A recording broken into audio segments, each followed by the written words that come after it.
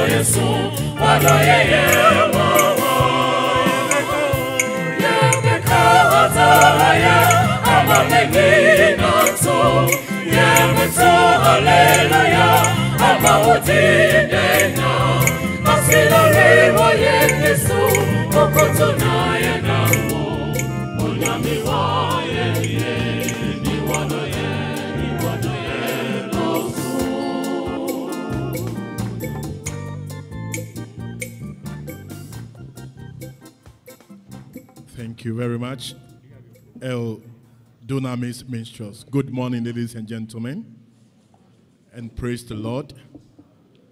We want to start the program this morning, and we want to take the opening prayer.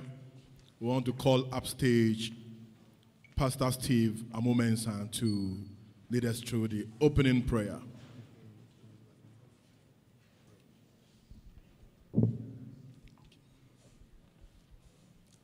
Please shall we rise for prayer.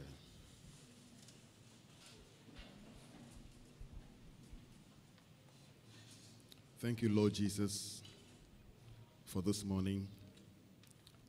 Thank you that we are alive to see this day. Thank you for the gifts of sunshine, gifts of fresh air. Thank you, God, for our very beings. Thank you for the gift of health. We say, Praise be to your holy name. Jesus, you promised your disciples that the Holy Spirit will come and will glorify you because he will take of what is yours and show it to them. Father, we are here because of this. We submit to the Holy Spirit. Help us, O God, as Holy Spirit, you take of what is Christ's concerning this issue that we have come to discuss this morning. And show it to us, O God, that at the end of it all, glory will come to Jesus Christ, who alone is the greatest of all, the beginning and the end. We thank you, Father. We pray for those who are on their way coming, that you bring all of them safely here. We commit everything that we're going to do this morning to your hands. We pray for the lecturer. We pray for all the supporters. We pray for the chair. We pray for everybody here, O God, that everything shall be subject to God, to your name, and to your authority. We come against every interferences of contrary spirits this morning in the name of Jesus Christ. That nothing of God planned against this program will succeed. Father God, from the beginning to the end, Holy Spirit, we know you are in control. And Jesus is here to take glory. May your name alone be glorified. May your name be praised in Jesus' name. Amen. Thank you. Thank you very much, Pastor Steve Amumensa. We still want to be on our feet. We want to be singing our opening hymn.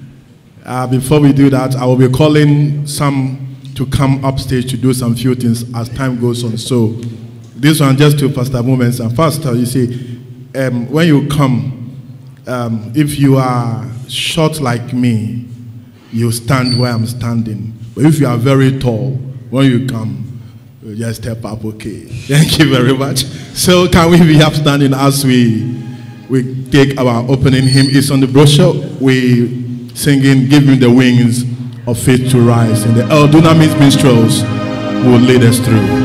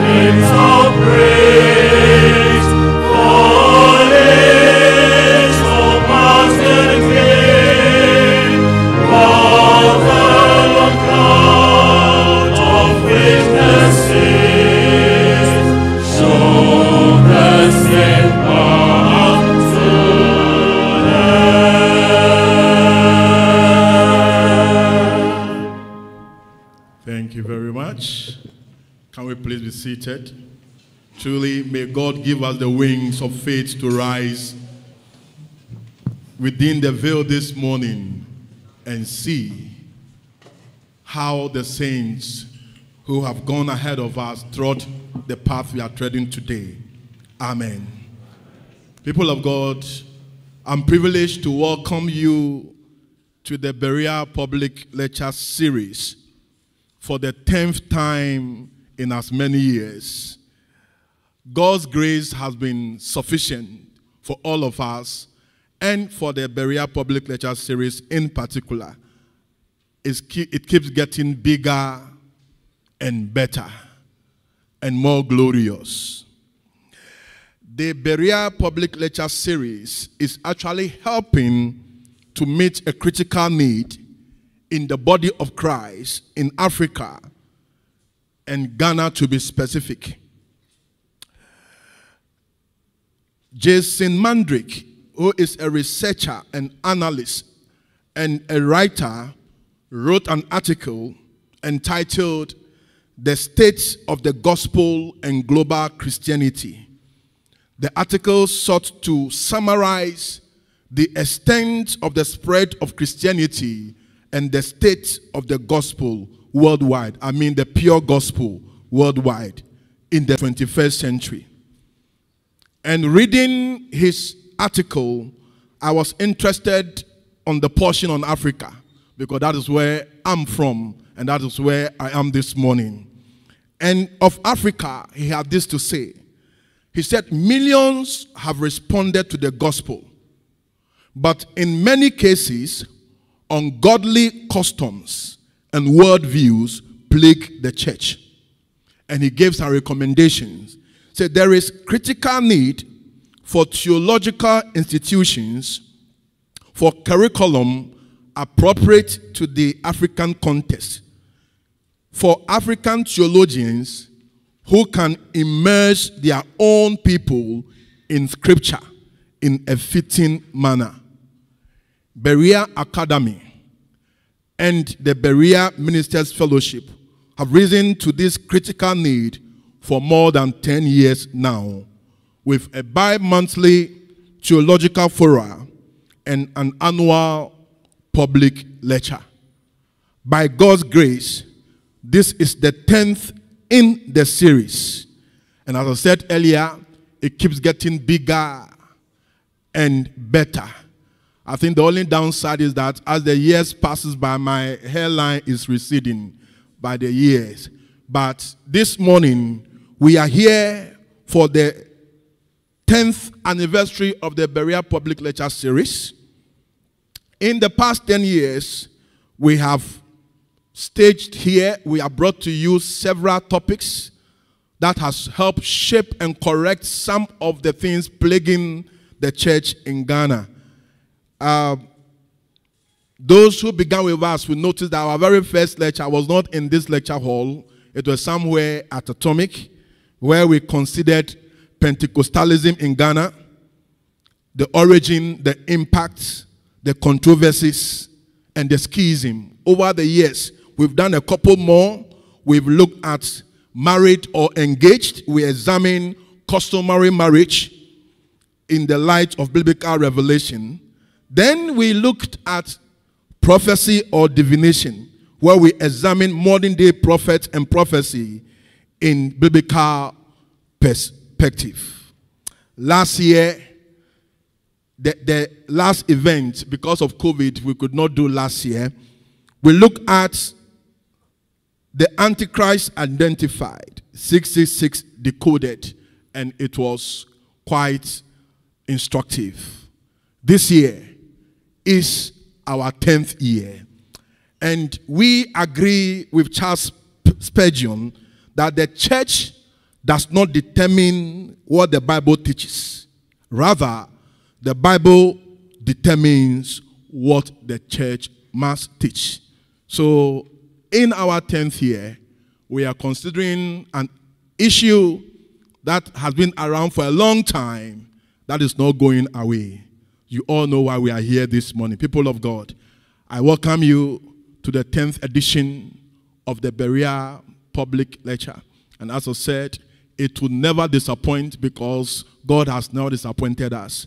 We know that at the end of the day, we shall live here better equipped, becoming better Christians who have better understanding of the scriptures. So, on behalf of the planning committee, on behalf of the president of Berea Academy Ghana, on behalf of all the Berea movement, on behalf of the Berea Minister Fellowship, I welcome each and everyone to this year's public lecture.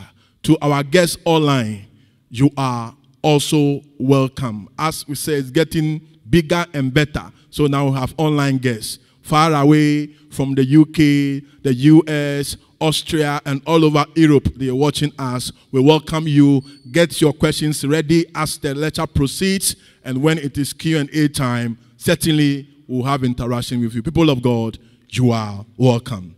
Thank you very much. At this point, we want to take some ministration from the El Dunamis Minstrels. This group have stood with us for the past 10 years. They have been our rented choir for 10 years, and uh, they also get keep getting better by the day. And today, they will give us some melodious sounds in the house. El Dunamis Choir, over to you.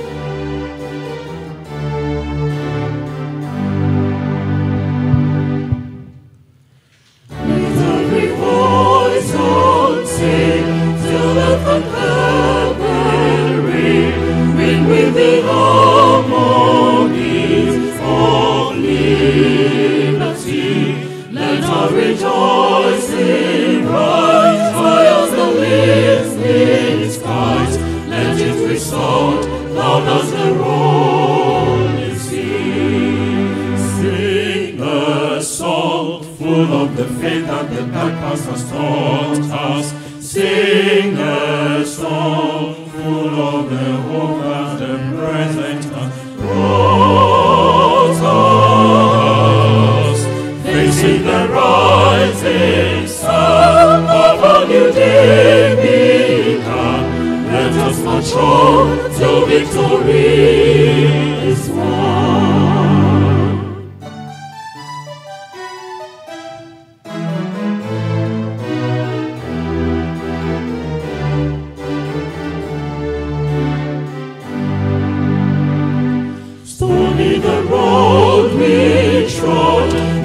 the chesney rod, that in the days were long, unborn and died, yet with a steady beat, and not a weary feet, come to the place for which our fathers sighed. We have come over a way that the tears have been watered.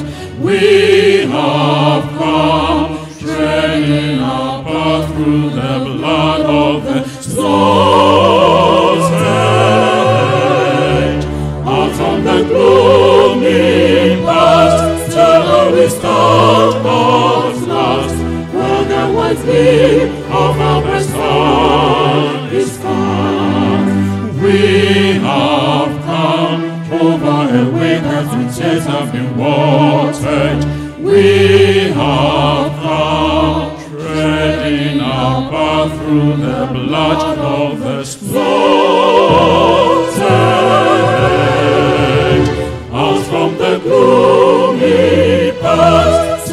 We stand at last, where the white flame of our bright sun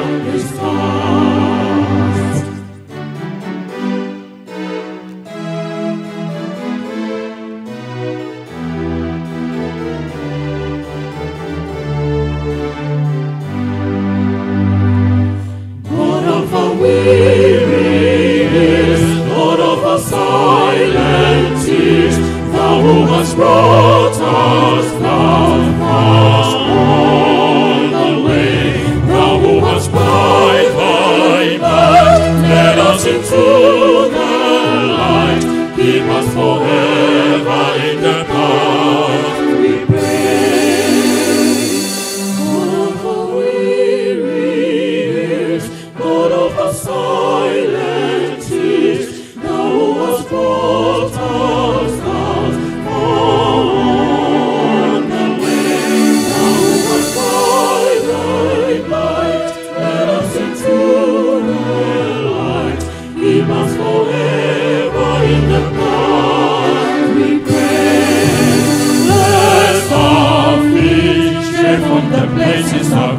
of God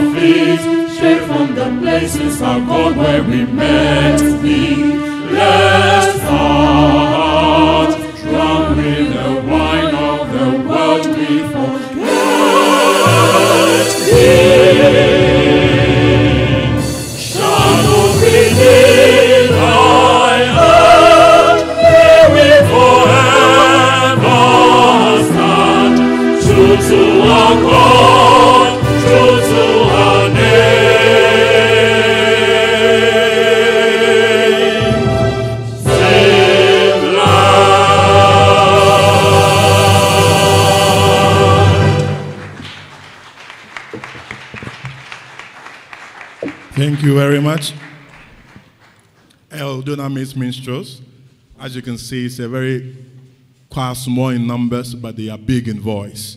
God bless you for that rendition. We have a chairman for this occasion. Uh, before we introduce the chairman, I want to acknowledge some few special guests here. We are all special, but we, I, will, I will acknowledge some few whilst I, I wait my special list, my guest list to do more detailed introduction. Um, I can see Professor Shandov. Professor Shandov, you are welcome. Let's put our hands together to welcome Professor Shandov. And I can see Professor Sapon as well. Professor, God bless you for coming. I will be introducing more as they come. And I can see, yes, yes, yes. I can see the former second lady of this nation in the person of uh, Mrs. Matilda and Mr. Arthur. Let's put our hands together for Auntie Mati. At the right time, I will introduce the rest of the guests. But we have somebody to introduce our chairperson for this morning. People of God, help me welcome our own sister, Chinoye Gazy, to do as the introduction.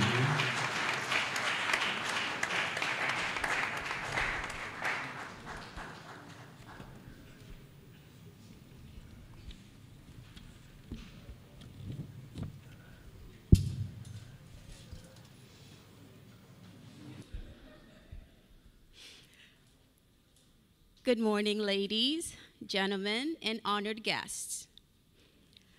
On this occasion of our 10th annual Berea Lecture Series, it gives me great pleasure to introduce to you the chairperson for today.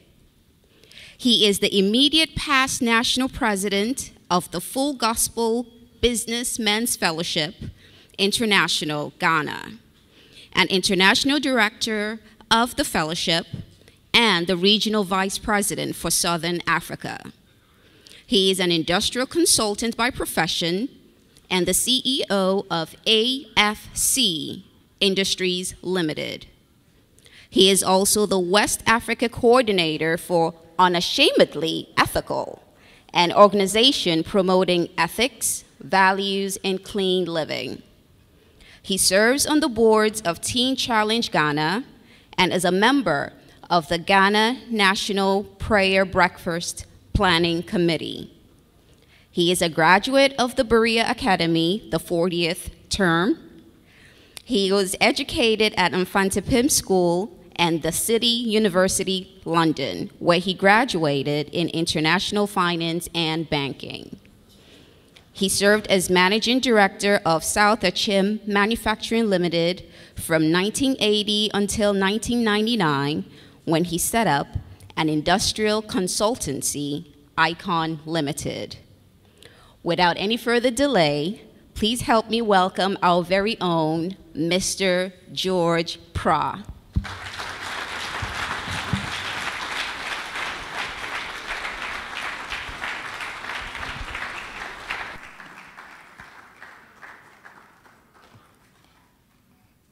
All I can say is, wow. I've never been introduced with a voice so charming. Can you do it again?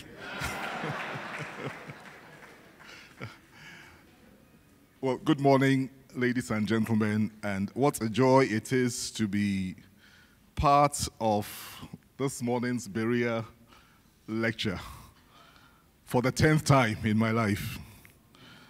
The MC talked about his hairline receding. I'd like to remind him that he doesn't have a hairline. but we've been part of those annual lectures for many reasons, least of which is the fact that some of us have a passion for the truth and for correction to be brought into the body of Christ.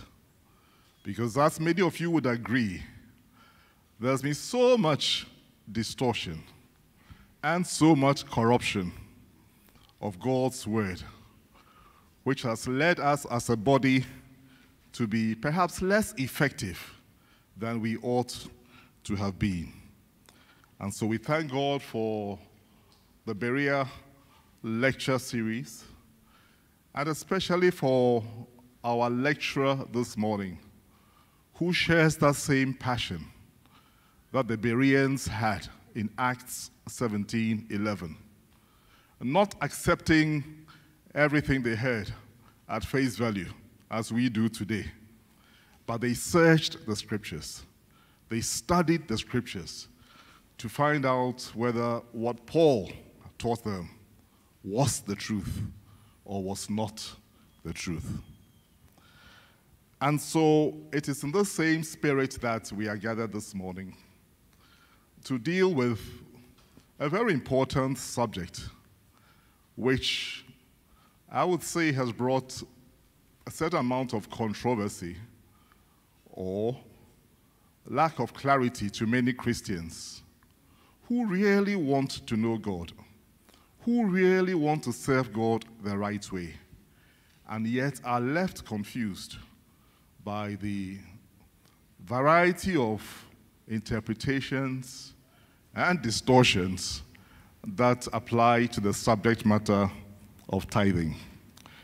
And so this morning, our lecture, Mandatory Tithing versus Voluntary Sacrificial Giving, whether the New Testament church is so timely and so important that we establish what the New Testament teaching actually teaches concerning this subject matter. And some say tithing belongs to the Old Testament, and therefore it is not scriptural today. Others would say that the tithes have been so abused by pastors, and that nowhere in the Bible is it mentioned that the disciples paid tithe to Jesus Christ. I've heard others say, argue that Jesus, they didn't pay tithes to Jesus because Jesus didn't need the tithes. And that's when he had need. All he did was to send his disciple to catch a fish and found a coin in his month, so he didn't have need for tithes. Well, we'll give it to them. And some would say that, yes, but you accept the teachings, other teachings of the Old Testament, and you draw from them when it's convenient to you. But then when it comes to tithe, because it's talking about money, you dispute it. And so we become rather selective as to what we will accept and what we will not accept. Some I've heard say that, well, it is wrong for you to argue against tithe giving because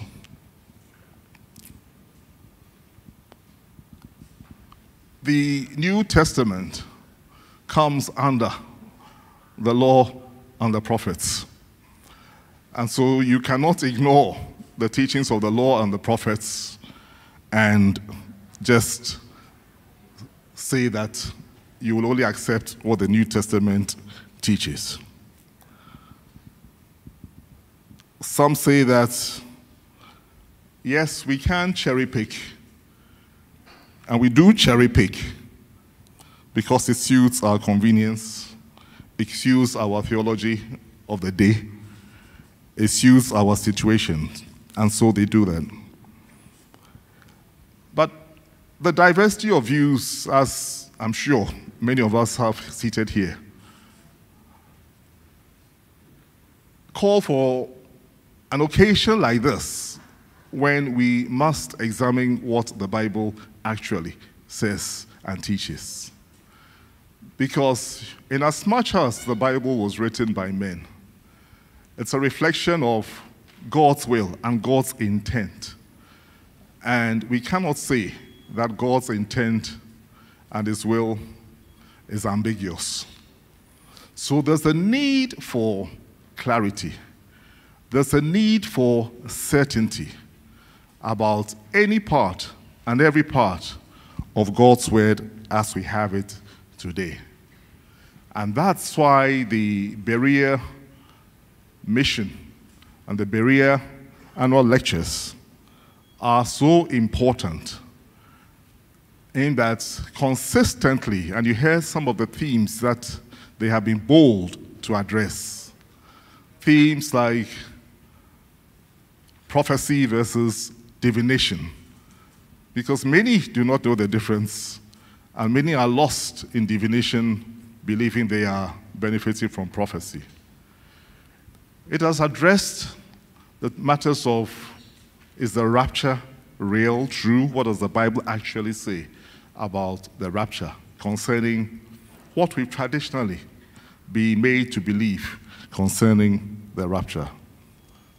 It has addressed the matter of dreams, an important matter because many have assumed that every dream they dream, or some dreams they dream, are really God speaking to them. And therefore, all dreams lead to certain actions that sometimes have led many astray. So, to have certainty and clarity on what God words, God's word teaches and says is extremely important. And I believe that this morning we will leave here with a depth of clarity, a depth of knowledge, a depth of certainty to carry out to the rest of the body of Christ as we seek to bring understanding and, and correction to the important subject matter of tithing. The Bereans were diligent, and so ought we to be diligent, especially for those of us who want to know God and serve Him faithfully. We should be diligent in the study of the scriptures. And thank God that we are going to have this morning a fruit of such diligent study on the subject matter that is to be addressed this morning. Whether we tithe or do not tithe, or should tithe or should not tithe, I think one thing that is without doubt is that every genuine Christian who appreciates the grace of God, even in having his son shed his blood for our redemption, for our salvation, has a debt of gratitude to pay to our God for such amazing love and such grace that He has given us. And how we do it and what form we do it, whether it should be by compulsion or should be from a sincere and genuine heart, just as we express gratitude ordinarily in our day to day lives, we will come to find out at the end of the lecture this morning what the correct and the true and the right position should be.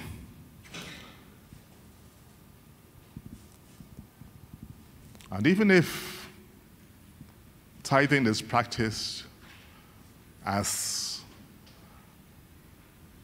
a fulfillment of church tradition, just because a church needs resources, the body needs resources to grow and to expand, and whether that should be our sole motivation or one of our motivations. We will also have such clarity at the end of our lecture this morning. And so, what I can assure you is that we are in for an exciting lecture, an exciting debate. We are in for settlement in our hearts and in our spirits as to what the real intent and the will and the desire of our Lord is in this matter. And if I know our lecturer very well, the position he will bring across this morning will be in alignment with the position of the Holy Spirit himself, who at the end of the day is our only teacher. He has the best capacity to bring to the fore God's intent on the subject matter. And so, whatever your disposition, disposition be, whatever thoughts you have on the subject matter, one thing I know is that you will have an answer and a clarity, but you'll be blessed because it is a blessing that is coming from the Holy Spirit.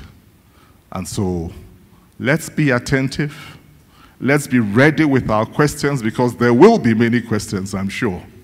But at the end of the day, we will be blessed and will be fulfilled and will rejoice and be glad that we came here this morning. I thank you very much. God richly bless you and enjoy the lecture as goes.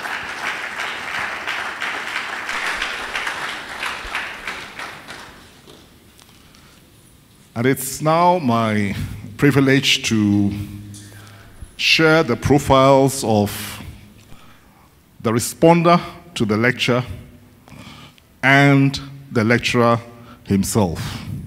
Because after the presentation, somebody has the unenviable task of providing a response to the lecture that will be presented. And the response to this morning's 10th Berea lecture will be given by none other than Reverend Dr. Frederick Mawusi Amevenku. Dr. Amevenku is an ordained senior minister of the Evangelical Presbyterian Church.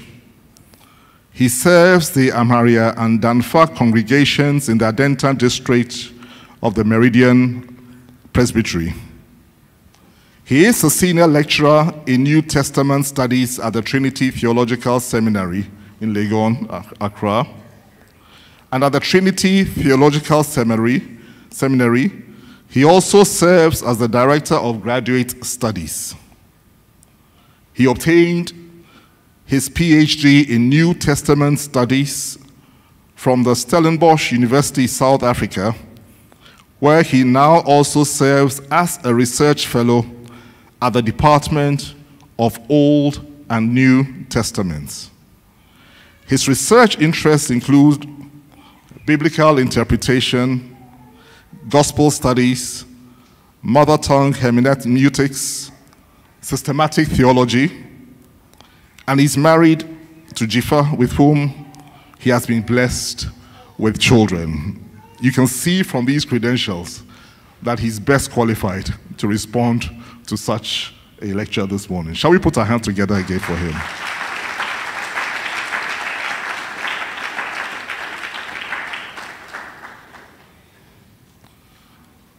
And now it's my privilege to introduce or share the profile of our distinguished lecturer this morning. Dr. Kwabena Dakwa Amano is the senior pastor of the Crossroads Community Church, Accra, and the director of Berea Academy, Crossroads Community Church branch.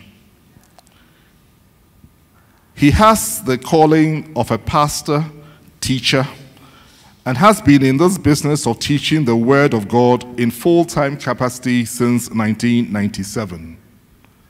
He obtained his Bachelor of Science degree in agriculture, in animal science to be precise, and his Master's of Philosophy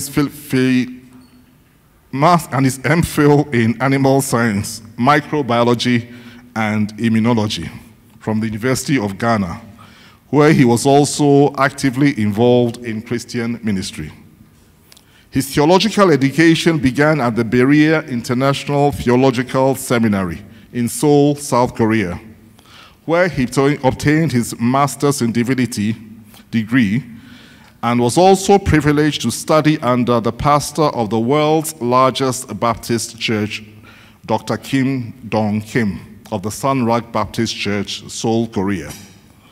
He later also obtained his doctorate in theology from the Ghana campus of the Florida based International Theological Seminary. He has taught in a number of Bible schools in Ghana, including Berea Academy, International Theological Seminary, Agape Bible School, Victory International Bible Institute, Shalom Victory Bible College, and the Bible College of Ghana. He's also the main resource person of the Berea Ministers Fellowship, a fellowship that brings together ministers of independent churches for continuous theological education, for fellowship, and for mutual support. His teaching emphasis is on challenging the church to move away from theology that is rooted in mere intellectualism, human traditions, and imaginations to a theology that is rooted in the Bible, especially the New Testament. It's my privilege to call him my pastor also. And I believe that we are going to be extremely well fed through this important lecture we shall be sharing, having this morning. May I invite the El Dunamis choir to bless us with a song before the lecturer comes to the podium. Thank you very much.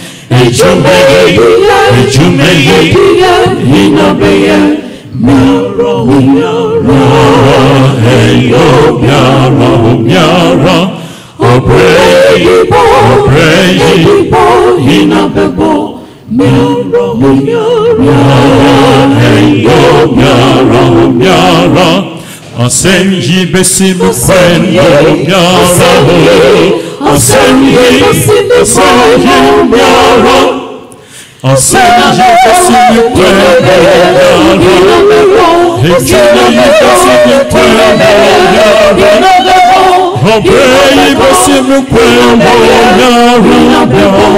miara miara Oh, miara eyo miara miara kwendo miara Asenyi asenyi miara Asenyi besimu kwendo miara Ejuni besimu kwendo miara Obreyi besimu kwendo miara miara miara miara eyo miara miara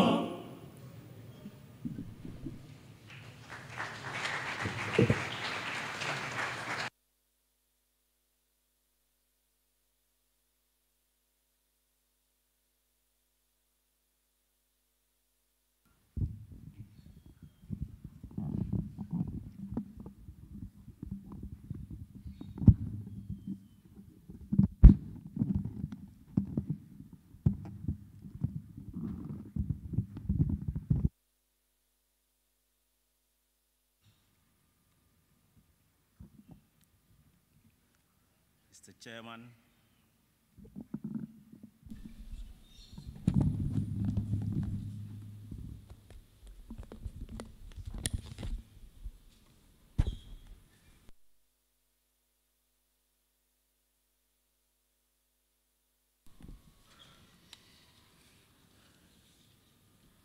Mr. Chairman, uh, special guests, ladies and gentlemen, I greet you in the name of the Lord Jesus Christ and thank you most sincerely for your presence and participation in this year's lecture. We can only thank God as an academy for His grace that has brought us this far today to the 10th in a series of Berea lectures since its inception in 2011 but for the COVID 19 pandemic, which made it inconvenient for us to have the 2021 lecture, today's lecture would have been the 11th in the series. The Berea Lecture Series is Berea Academy's contribution to our country's theological discourse. We call ourselves Bereans because of our resolve to take after the noble attitude of the Jewish attendees of a synagogue in Berea in relation to the scriptures. Otherwise, Berea is only the name of an ancient Macedonian city in northern Greece, which became part of the Roman Empire. The name of this city has, however, gained fame in Christian theology in representing a positive example of how a person or community should respond to biblical teaching. In their second missionary journey, Paul and Silas came to Berea from Thessalonica, which they had been forced to leave by the disbelieving Jews who disbelieved and attacked Paul and Silas.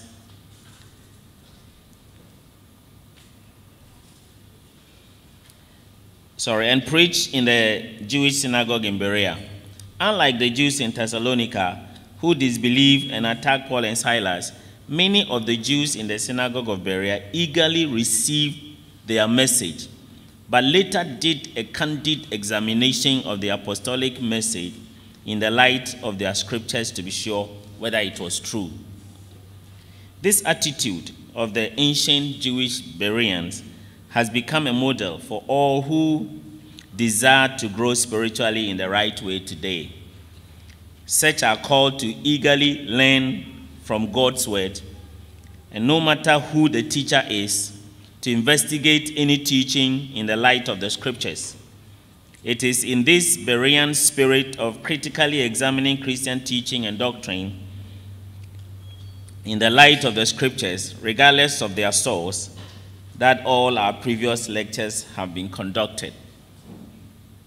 This year's lecture is similarly the critical examination of a popular Christian doctrine known as tithing in the light of the scriptures. The objective is to ascertain where the New Testament church should stand in relation to the two biblical practices of mandatory tithing and voluntary sacrificial giving. Mr. Chairman, it must be stated that the choice of the subject matter for this year's lecture was deliberate.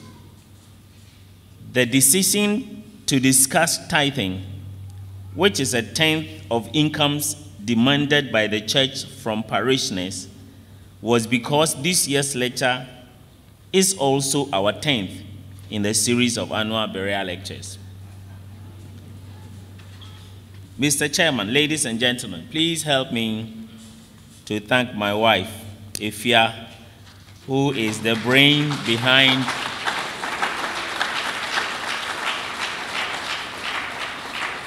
who is the brain behind the lecture series and has over the years driven herself beyond herself with the planning committee to ensure the success of every one of our lectures.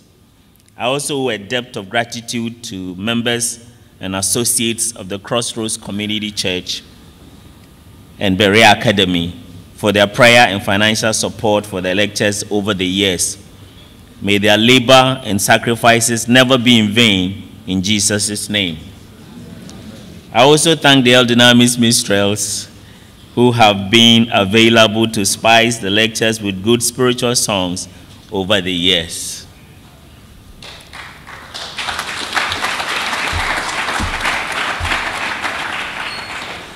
Mr. Chairman, giving one tenth of one's income as tithe to God is one of the most popular doctrines of many Christian denominations and churches.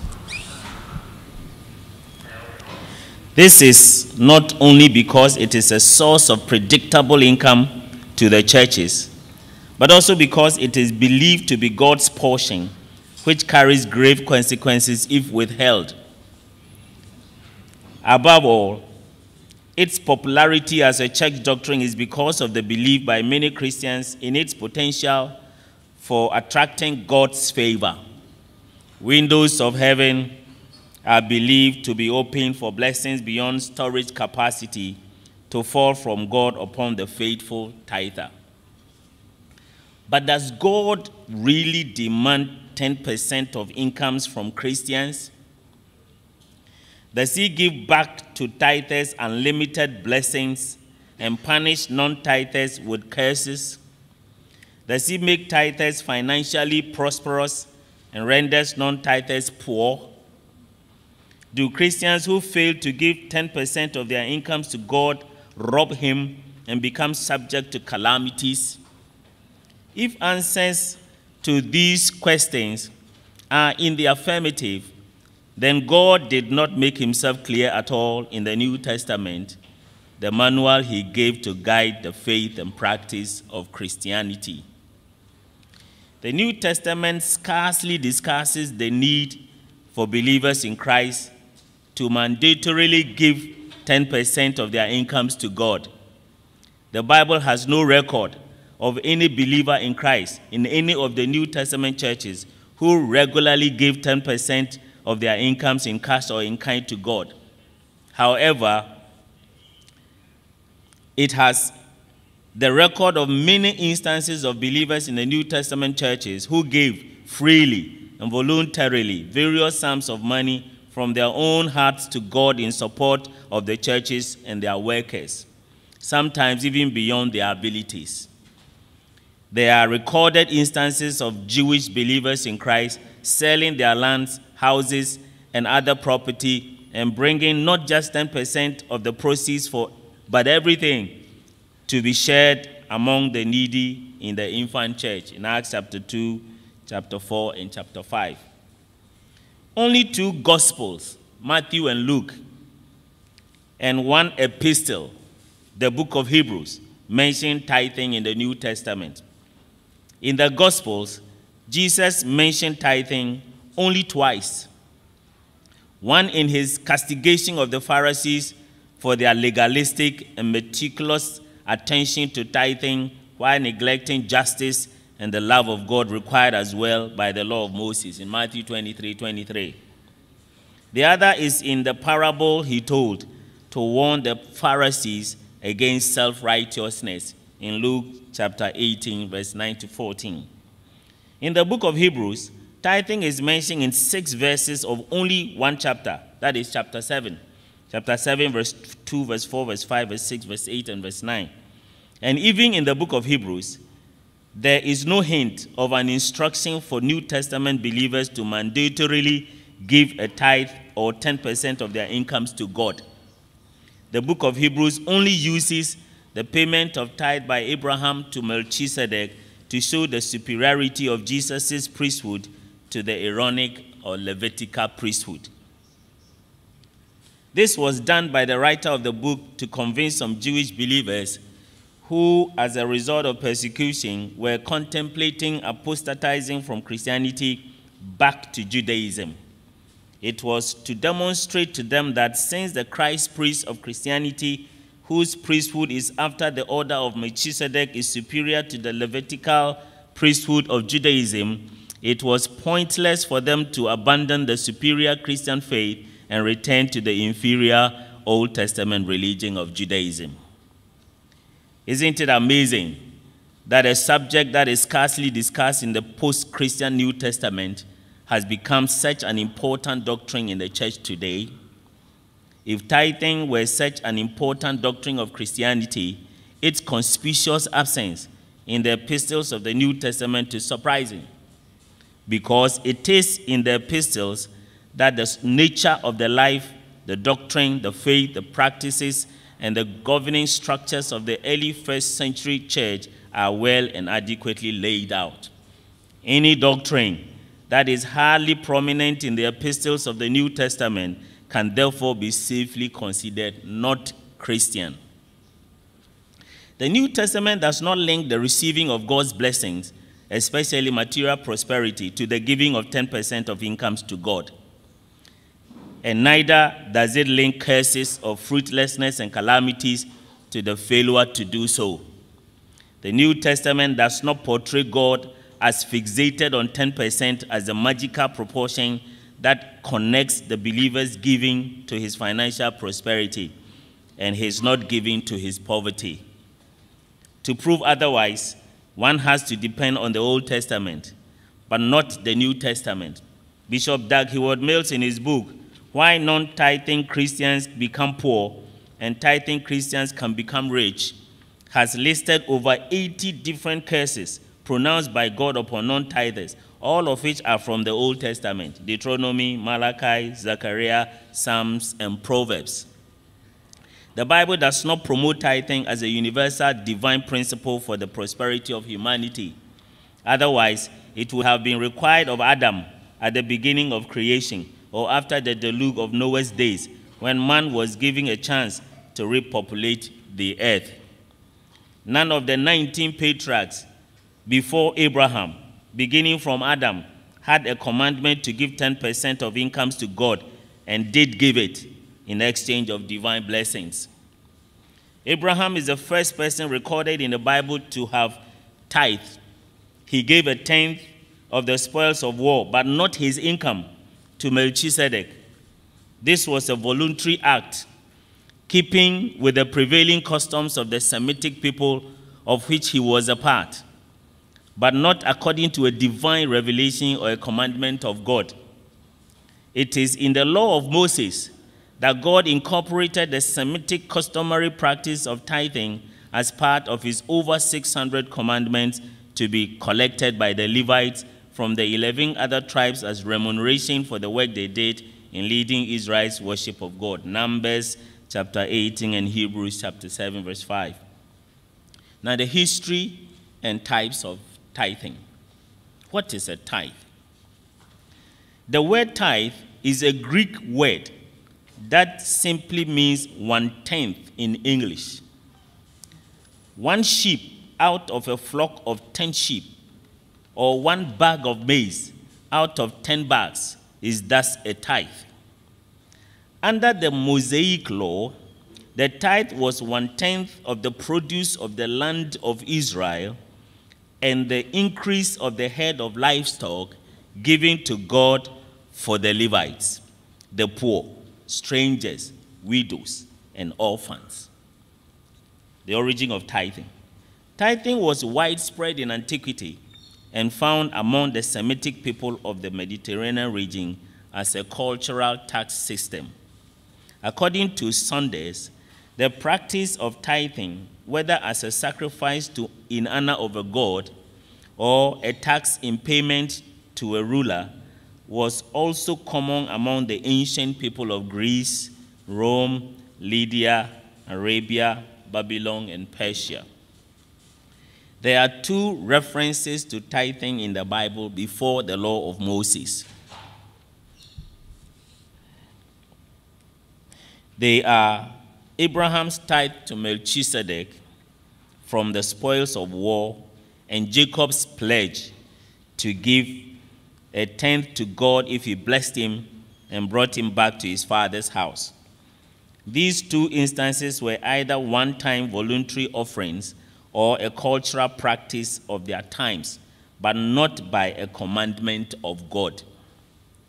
Before the law of Moses, the Bible does not record anyone giving tithes to God as a yearly, monthly, or weekly practice.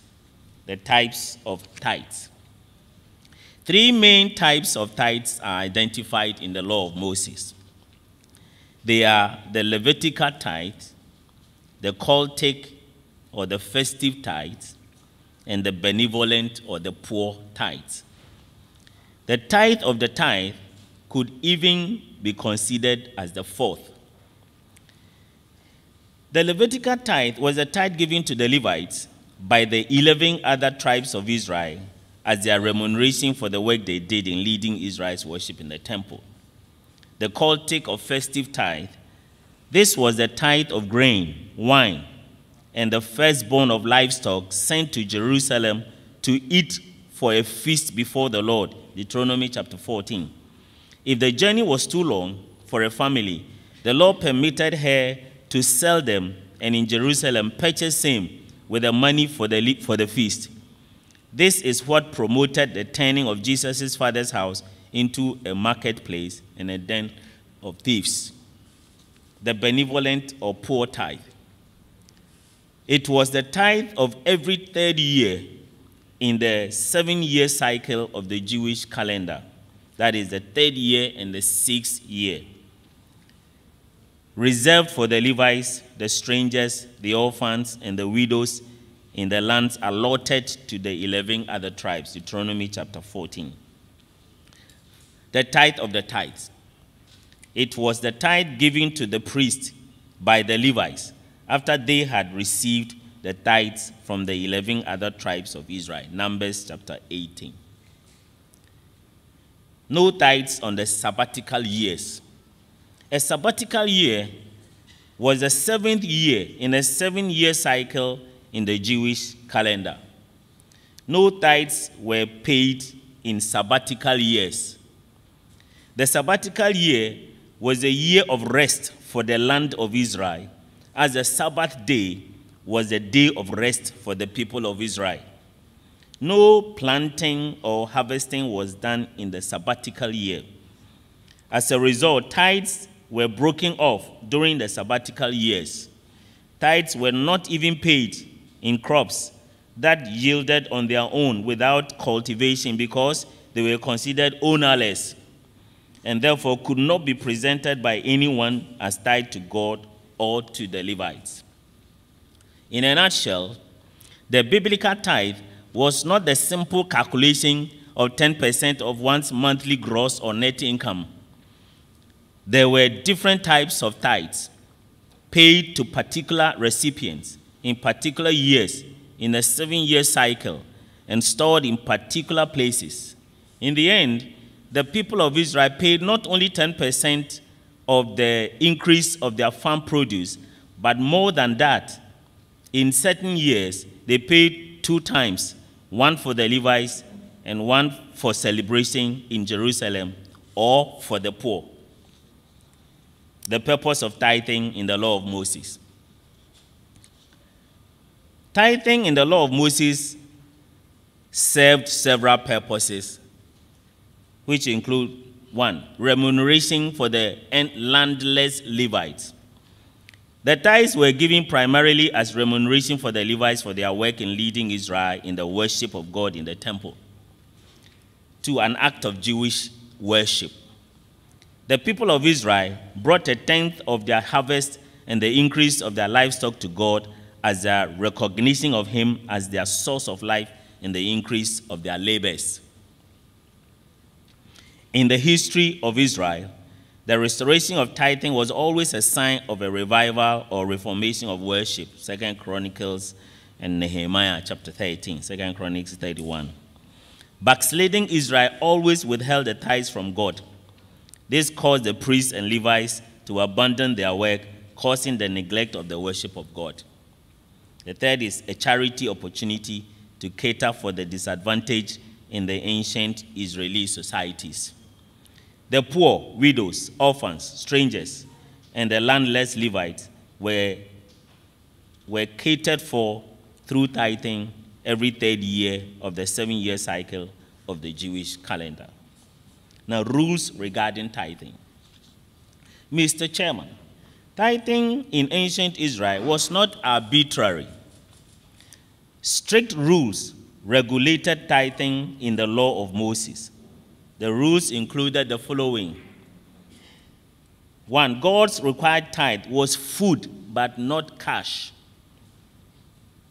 Leviticus 27, Malachi 3, and Matthew 23.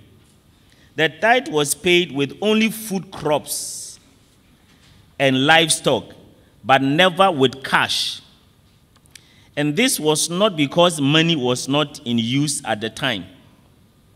The bekah, the shekel, and the talent, for instance, are mentioned several times in the books of Moses as the currencies in use during the era of Moses. Exodus chapter 38. The people of Israel also spoiled the Egyptians and had a lot of money from them before leaving Egypt.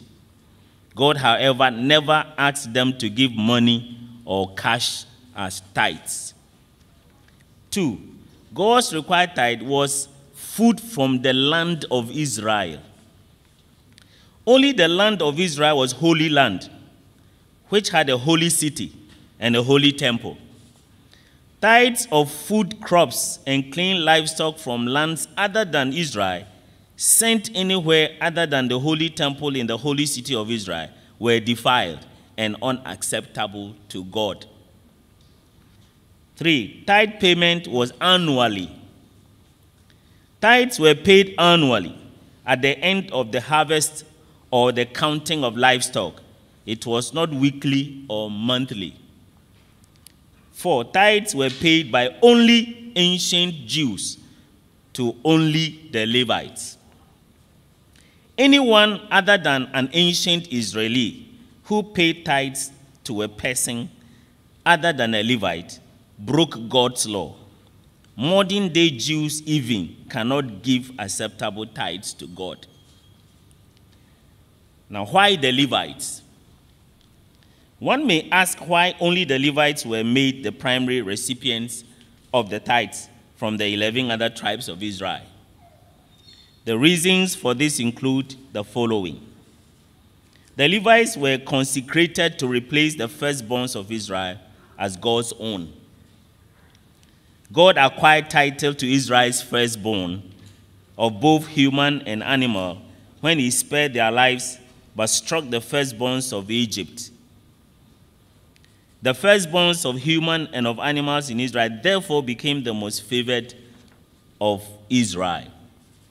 In place of the firstborns of Israel, however, the Levites were later consecrated to become the most favored of the Lord. Two, the Levites alone remained loyal to the Lord and were rewarded for their loyalty. When all Israel worshiped the golden calf in rebellion, and Moses stood at the gate of the camp and asked, Who is on the Lord's side? Only the sons of Levi gathered to Moses and proved to be the only ones on the Lord's side. They were thus rewarded for their loyalty to the Lord with the service of the Lord, lost by the firstborn of the whole nation. Three, they were not counted among the people of Israel because of their separation unto God for the service of the Lord. In the census to count the people of Israel, God instructed Moses not to count the Levites along with the other Israelites, but to set them apart and appoint them to be in charge of the spiritual responsibilities of the tabernacle. Numbers chapter 1. The priesthood that belonged to the tribe of Levi as a reward from God, and they served a sacerdotal role in the religious life of the children of Israel. For the Levites were the only tribe blessed to live off the offerings and tithes from the other tribes. The Levites had no inheritance among the tribes of Israel. The Lord was their inheritance in place of land. Therefore, the tithes and food offerings that were brought to God because they became their inheritance. Whereas the other tribes worked the land in order to eat, the Levites were blessed and made dependent on the tithes and food gifts that the other 11 tribes gave to God. Is the giving of a tenth of the, of the spoils of war by Abraham to Melchizedek a justification for Christian tithing? Quite often, the giving of a tenth of the spoils of war by Abraham to Melchizedek is made a basis for Christian tithing. However, neither for the Jews under the law of Moses nor believers under the new covenant has Abraham's tithe to Melchizedek been made a basis for tithe paying in the Bible. The Jews pay tithes to fulfill a requirement of the law of Moses, but not as a practice handed over to them by their father Abraham. Melchizedek, who is mentioned only twice in the Old Testament, Genesis 14 and Psalm 110, and in only one book of the New Testament, the book of Hebrews, was important in the divine economy, not in his historical personality as a divinely chosen person, but as a type of Christ. Historically, he was a Canaanite Gentile priest king who was considered greater than Abraham only because he was a king and priest of his clan. If he were greater than Abraham in relation to God's eternal purposes, him, but not Abraham, would have been used as the progenitor of the Messiah and the source of blessing for humanity. It was Abraham, but not Melchizedek, who had the promises of God. Hebrews 7 6 was the friend of God. Second Chronicles 27 and James 2:23. He is mentioned by name 312 times in the Bible. Melchizedek only two times in the Old Testament and a few times in the New Testament from only one book. The writer of the book of Hebrews developed the typical representation of Jesus by Melchizedek in the context of Genesis 14 he presented Jesus' priesthood as heavenly, without end, and superior to the Aaronic priesthood, which was earthly. Ended by death and inferior to that of Christ, and applied Psalm 110, verse 4, to Jesus in the context of Abraham's tithe to Melchizedek in Genesis 14. The Jews counted anyone whose birth records and lineage could not be found in their genealogical records as not having father or mother, beginning of days or end of life, and anyone who could not trace his lineage to Levi in their records as a priest. Ezra 259 and 61 63, Nehemiah 7 63 to 65. Melchizedek, who was a Canaanite, was thus considered by the Jews as without genealogy, beginning of days or end of life. Hebrews 7 3 and 6. But though he did not trace his lineage to Levi, he was a priest of the Most High. His priesthood, therefore, perfectly typologically fitted Jesus' eternal non Levitical priesthood as against the temporal Levitical priesthood. He only resembled the Son of God in his everlasting priesthood, but was not a Son of God himself. Do modern day Jews pay the biblical tithe? Modern day Jews do not pay the biblical tithe, and the reasons are not far fetched. Biblical tithes are closely related to the temple in Jerusalem and the tribe of Levi. Tithes were sent to the temple storehouse and were to be received by the Levites. In, in the AD 70 war with the Romans, the Jerusalem temple was completely destroyed with all the Jewish genealogical records kept in it. And in the absence of the genealogical records, Jewish tribal identities are indeterminable. Modern day Jews, therefore, do not have the tribal identities that ancient Jews had, making it difficult for Levites to be identified to receive the tithes. These make it difficult for a modern day Jew to pay the biblical tithes without breaking the law of Moses.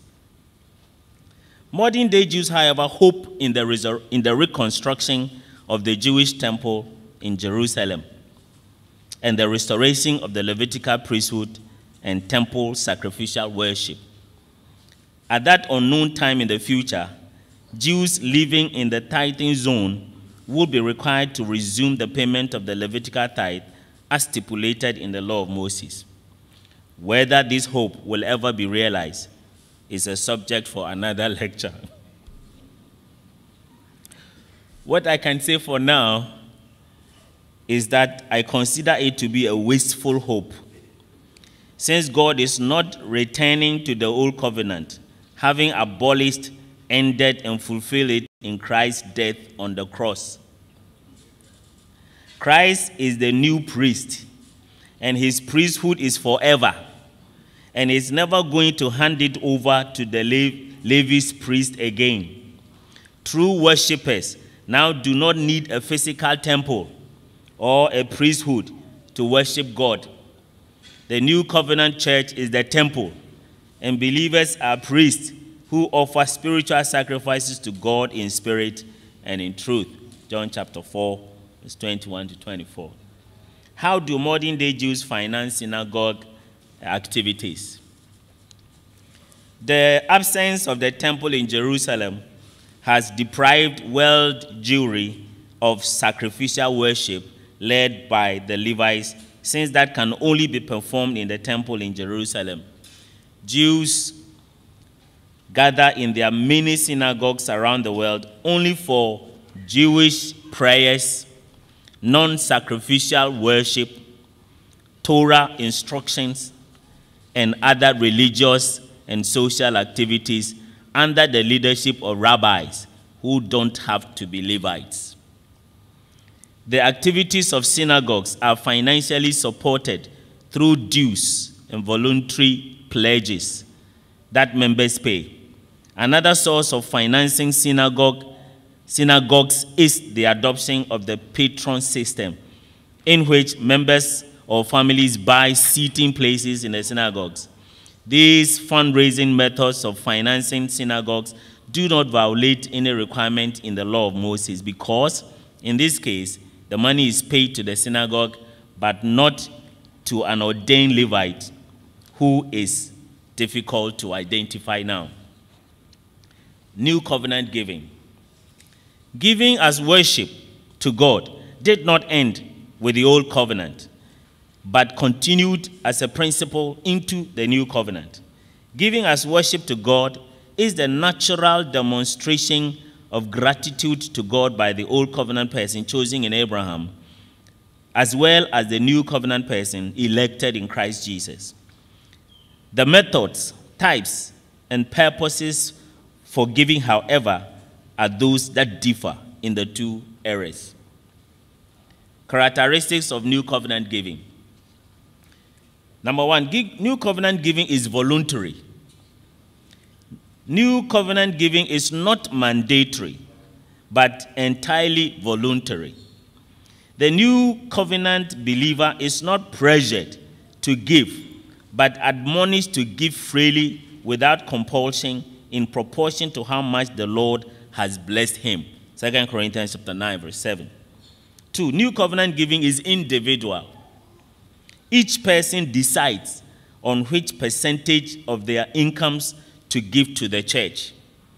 It is not the 10% of monthly income usually decided on by the church and made mandatory for everyone.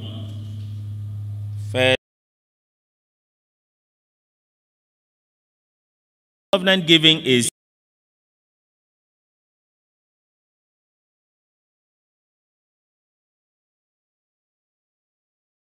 item that an individual could give in support of the church under the new covenant. People give freely in the spirit of generosity. Barnabas sold his land and brought all the proceeds, 100%, to the apostles to be given to the needy in the early church. Acts chapter 4, verse 36 37. The poor and afflicted Corinthians gave according to their ability and beyond their ability. They gave more than 100%. Four new covenant giving is cheerful. Not many good things can be done cheerfully, such as mourning with the bereaved. New covenant giving, however, is to be done with cheerfulness because God loves the cheerful giver. 2 Corinthians chapter 9, verse 67. Giving to God to regret and complain later is unprofitable. Giving happily without regrets and complaints is the godly way to give and the spirit that underlies all giving to God, particularly new covenant giving. Five, new covenant giving is sowing and reaping. The Bible promises a payback for every form of giving. Luke chapter 6, verse 38.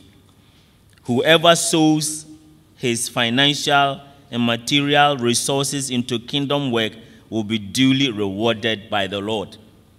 God is the one who gives seed to the sower and the same who, supply, who multiplies the seed the sower sows in faith and in obedience to the word of God. The fact that God gives back to the giver, however, does not warrant the giving to receive syndrome in today's church called seed faith. Giving to receive from God is akin to an attempt to purchase God's blessings with offerings, or an attempt to bribe or blackmail God with offerings. This is referred to as simony, named after Simeon, who wanted to buy the ability to transfer the power of the Holy Spirit to others it attracted a rebuke and a curse from Peter the apostle. Six, new covenant reward for giving is proportional to the seed sown. According to the apostle Paul, he who sows sparingly will also reap sparingly, and he who sows bountifully will also reap bountifully. This makes God a just God who repays his children in proportion to the sacrifices they make in giving to him.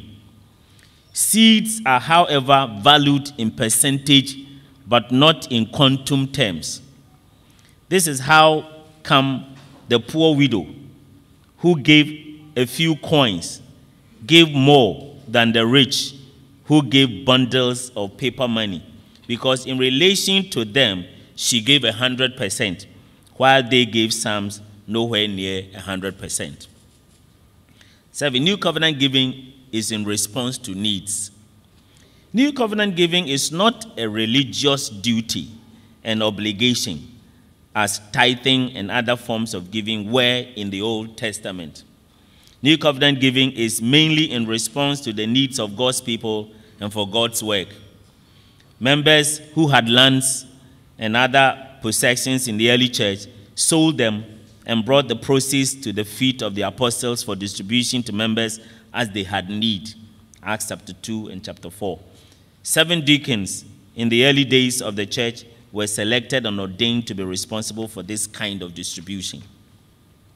Christians who pay their tithes or give 10% of their incomes to the church and suppose that they have fully fulfilled their obligations and therefore are done for the month should remember that new covenant giving is not for the fulfillment of an obligation, but in response to the needs of the church. If one has been blessed with material wealth, no percentage of it given to the church is enough, while the church has needs. Believers are supposed to give in proportion to how much the Lord has blessed them and in response to needs. Modern history of tithing. Giving in the first century church of the apostles was purely voluntary. Members of the church who had property sold them, and proceeds from the sale were brought and put at the feet of the apostles for distribution to members as they had need. There is no record of a mandatory tithe paying in the early church. This situation of free will offering to support the church lasted for about 300 years. Mandatory tithing for the sustenance of the church and her bishops and priests became a practice in the church in the 6th century when the church came under the Roman government during the reign of Emperor Constantine. One of the issues of the church councils at the time was tithing. As a result of the councils, tithing was experimented in the Roman Catholic Church, but it fell into disuse over time. The ecclesiastical development of the demand for tithes. The church fathers who followed after the apostles of the Lord Jesus were the first to allude to the need for Christians to pay tithes. They, however, did not make these demands for tithes mandatory. It was voluntary. The next major allusion to tithe paying in the church were by the church councils, notably the Council of Tours, AD 567, the Council of Macon, AD 585, the Council of Rouen, AD 650, the Council of Nantes, AD 660, and the Council of Metz. They favored tithings of land and produce. Christian kings and emperors of Europe made, the, made tithe paying a common practice in the Roman Empire and Western Christendom. Over time, it became, a, it became general for a tenth of incomes to be paid to the church. Tithe paying was, however, optional until Innocent III, the most significant pope of the Middle Ages, who, in, in an address to the Archbishop of Canterbury in AD 1200, made a decretal requiring tithes to be paid to the clergy of the parish to which payees belonged. About this time also, tithes, which had originally been confined to agricultural produce were extended to every species of profit and to the wages of every kind of labor. The Roman Catholic Church on tithing. The Roman Catholic Church does not mandate the payment of tithes by its members. It, however, expects the faithful to voluntarily provide for the financial and other needs of the parishes they belong to. In the Middle Ages, following the councils of Tours and of Macon, the Roman Catholic Church experimented with tithing. The experiment with mandatory tithing failed and fell into disuse after the Protestant Reformation, the French Revolution, and the growing secularization of civil governments in Europe. The Protestant, Reform, the Protestant Reformation and tithing. Martin Luther and John Calvin, chief architects of the Protestant Reformation of the 16th century, were not favorably disposed towards mandatory tithing for believers. They saw in tithing a command in the law of Moses for ancient Israel, but not for new covenant Christians. Though modern day Baptists, Presbyterians, and Methodists advocate for mandatory tithing, their forebears were not that disposed towards making tithing mandatory for Christians. The philosophy of church support for, by early Baptists, Presbyterians, and Methodists emphasized voluntary support on the congregational level. The secular and political uses of tithe. Christianity became the official religion of the Roman Empire in AD 395. In this age, and through the medieval age in Europe, there were hardly any separation between church and state. Medieval Europe was wholly Roman Catholic, with a church building in every community and cathedrals in larger towns and cities. The secularization of tithing in Europe began from the 6th century when the church became rich and owned lands and exacted tithes from those who rented the lands of the church. For many centuries, the right to collect agricultural tithes in Europe switched from the church to the secular and political authorities, depending on who was stronger. Pope Innocent III in the 13th century, for instance, ordered that tithes for the support of the church should be given precedence over all other taxes. When the Bible got translated into the language of the common man and people started to read it for themselves, opposition against the mandatory payment of tithes as tax arose. In Germany, England, and France, revolt against the payment of tithes were rife. To the extent that in 1789, tithes were abolished in France by the secular authority, and by 1850 had been made voluntary in England. In 1871, tithes were abolished in Ireland, and in 1887, they ended in Italy.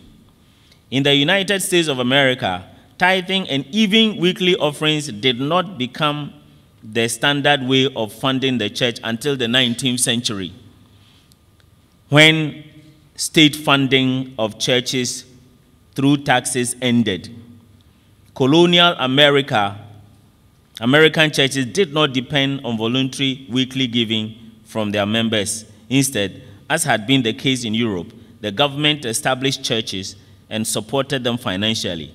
Since churches serve the public good by raising citizens of good, good character, the public also deemed it fit to fund church activities through taxes and fees. In the 20th century, the United States conservative Christian emphasis on tithing stemmed largely from the efforts of a Chicago businessman, Thomas Kane, who distributed pamphlets promoting tithing to as many as 75% of the evangelical pastors in the country during the last quarter of the 19th century and prompted a number of writers to pen a series of larger influential books on the subject. Conclusion. Mr. Chairman, ladies and gentlemen, tithing is undoubtedly a doctrine in the Old Testament. It is a prominent legislation in the Mosaic Law and a practice even in the period before the Mosaic Law. The Semitic people of the Mediterranean region practiced tithing as a cultural tax system long before the law of Moses. The God of the Hebrews incorporated this cultural tax system of the Mediterranean region into the law of Moses for his people Israel. Tithing in the law of Moses was primarily to cater for the nutritional needs of the Levites who had the priesthood, the poor, strangers, widows, and orphans. Any Israelite who failed or refused to send the tithes to the storehouse for distribution to the Levites, therefore, robbed God of that which was primarily his and was severely punished with curses. That is because he committed a grievous offense of causing the neglect of the worship of God which took place in the temple. The Levites abandoned their work in the temple to look for food anytime the Israelites failed or refused to bring the tithes to the storehouse for their upkeep. Tithing, therefore, had a direct correspondence with the worship of God in the Old Testament due to its effect on the availability of the Levites in the temple area to supervise the worship of God. In the New Testament, this connection is not obvious. New Testament worship is not dependent on a physical temple and a human priesthood, but is perfectly conducted anywhere, at any time, in spirit and in truth, according to the revelation of the eternal Christ and high priest who has made all believers in him holy priesthood. Believers in Christ are built into a spiritual house of worship and offer spiritual sacrifices acceptable to God through Jesus Christ. The New Testament, therefore, does not require a priesthood similar to the Levitical priesthood to, to require mandatory tithing. The New Testament is in favor of voluntary sacrificial giving as worship to God and support for the church and its workers. This is evidenced in the book of Acts that records the origins and history of the New Testament church and the epistles written to guide her life and practices. A mandatory uh, giving of 10% of the incomes of believers in Christ as worship to God or a means of prosperity is not taught in the post Christian New Testament. The book of Acts tells of many believers who sold their lands and other possessions and brought the proceeds to the feet of the apostles for distribution to the needy in the early church. New Testament churches. Barnabas, who was even a Levite and was supposed to be landless and the recipient of tithes, rather had land which he sold for the proceeds to be given to the needy. This example of a Levite having saleable land is one indication of the change from the law of Moses and his demands to a new order. For only a change from the law of Moses to a different order makes it possible for a Levite to own saleable land. And a change from the law of Moses means a change in the law regarding the Levitical priesthood, since the Levitical priesthood was established by the law of Moses. According to the book of Hebrews, when the priesthood changed, the law regarding the priesthood, such as the law of tithing, also changed. The new priest of the new order is the Lord Jesus Christ. He did not collect tithes while he ministered on earth because he was unqualified to do so, being from the tribe of Judah but not Levi, and will not collect it now because he remains even in heaven the lion of the tribe of Judah. The women's group among the disciples gave freely and voluntarily from their own resources to support his ministry. Having poured out his Holy Spirit and grace from heaven on his church, his work must continue to be supported by grace giving freely and voluntarily. He does not condone any mandatory giving of a, of a prescribed percentage of his children's incomes to support his ministry. It is not a command by him or by any of the apostles in any part of the post Christian epistles. The use of Abraham's tithe to Melchizedek as a justification for Christian tithing is quite erroneous because not even to ancient Jews was it used as a basis for tithe paying. Ancient Jews paid tithes in, in fulfillment of an obligation in the law of Moses, but not because Abraham paid tithes to Melchizedek. The enigmatic Melchizedek is important in the divine revelation only as a type of Christ, but not as a divinely ordained priest for the worship of God. He was a, a Gentile who was considered greater than Abraham only in his position as a king and priest of his Canaanite clan. His designation as a priest was perhaps because he preserved the knowledge of God among his Canaanite people. The book of Hebrews only uses Abraham's tie to him to prove the superiority of Jesus' priesthood to that of the Levites. Melchizedek, Melchizedek's use in the discourse was only for a typological significance. It is an established fact historically that neither the Roman Catholic Church nor the leaders of the Protestant Reformation who spearheaded the establishment of the Protestant and Reformed churches endorsed the payment of tithes. Martin Luther, the theological father of the Lutherans, John Calvin, the theological father of the Baptists and Presbyterians, John, and John Wesley, the theological founder of the Methodists, Nazarenes, and Salvation Army, all rejected tithing because to them it was Jewish legalism. Many pastors know about the truth concerning tithing. They know very well that it is an Old Testament requirement, which is not demanded of New Testament believers. However, they are reluctant to stop using it as a fundraising strategy because of the regular, predictable, and greater source of income that it is for their churches. There must, however, be a way of raising money without misleading Christians about what God expects of them. It is misleading and an untruth to make church people feel obliged by God in the scriptures to give 10% of their incomes to God and to fund church activities. Finally, Mr. Chairman, ladies and gentlemen, it is quite obvious from the discussions so far that mandatory tithing, though taught in the Bible, is not taught as a Christian practice, but a Mosaic law requirement in the Old Testament. It is therefore Jewish, but not Christian.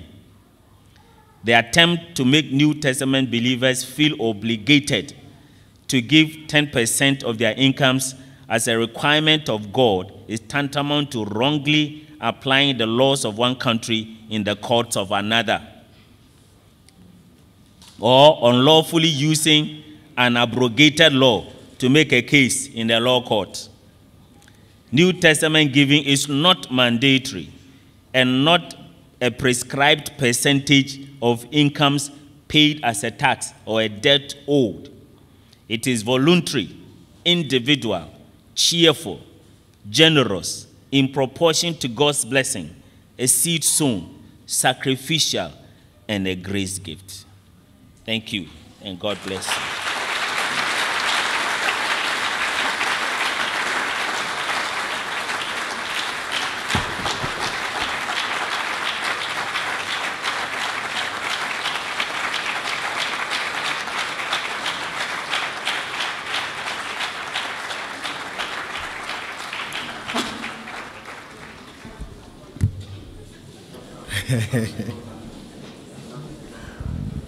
Thank you very much,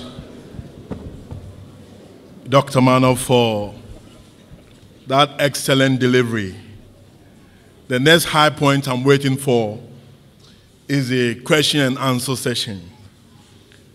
But before we go there, we will get a response from our special guest. Uh, before we do that, also, here at the Berea lectures, we have a custom of taking voluntary offerings. it has never been mandatory. Before we take the offering, we, we want to admonish you with Apostle Paul admonishing that he who sows bountifully reaps bountifully. And he who sows sparingly will reap sparingly. And as a good brother who love you, I want you to sow bountifully to support the cause of the Berea Lecture. The Berea Lecture is a self-sponsored program uh, because in the history uh, of our existence, we've tried all that we can to get external support. But as you know, anything that borders on the church and the Christianity um, it, it, it, doesn't, it doesn't really gel with the corporate world. So it's, it's a self sponsored entity. So when you come around on our lecture day, what you give goes a long way to defray um, the cost of organizing the lecture, which is forever rising. So we want to encourage you uh, voluntarily give bountifully, and the Lord will bless you. So uh, the El Dunamis will lead us to take our offertory for this occasion. Thank you very much.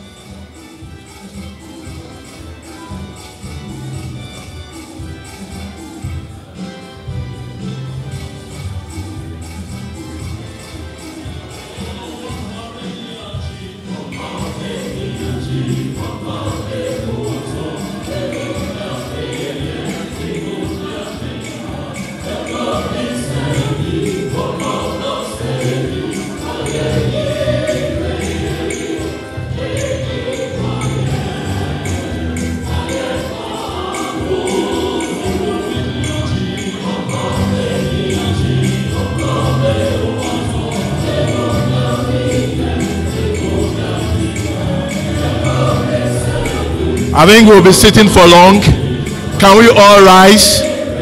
Um, it's advised uh, medically to stretch up a little, but it can also form a praise unto God. So give God some dance in the house, whilst you benefit from it as well. So the envelopes in the programs, you can put your offering in that envelope and drop it in the bowls as they come around.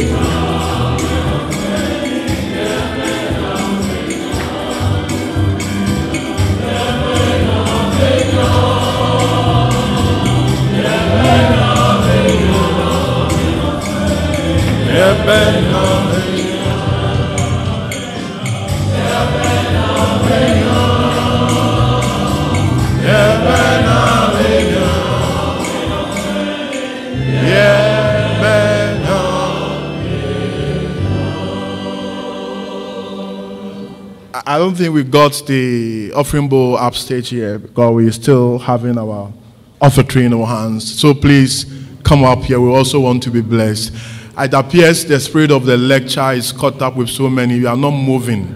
You are not moving. You see, the spirit of God is all over this place. I want you to be moving. Give us one more song quickly. I want to see you move. There is somebody there who want to make some move. He's in blue, but he's been hindered by two people by him. Please come into the house and get it done for us.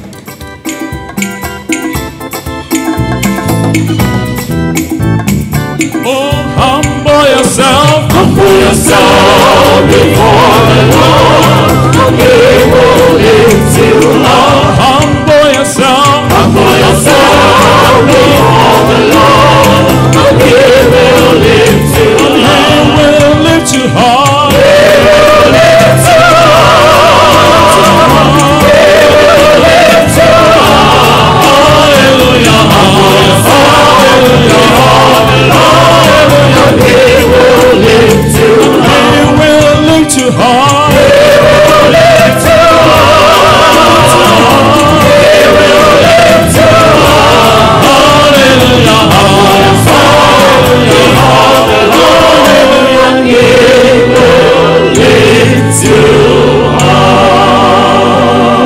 Shall we pray, Father, in the name of Jesus? We thank you for this day. Thank you for the opportunity to support your work voluntarily. We ask that you also bless us because we have supported your work. However, do that voluntarily in Jesus' mighty name. Amen. All right, can we please be seated?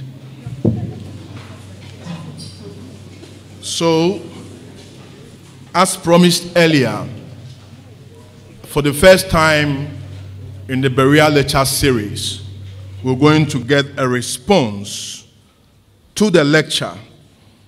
And the response will be coming from Reverend Dr. F. M. Amevenku. He's a senior lecturer of the Trinity Theological Seminary. People of God, help me welcome Reverend Dr. Amevenku.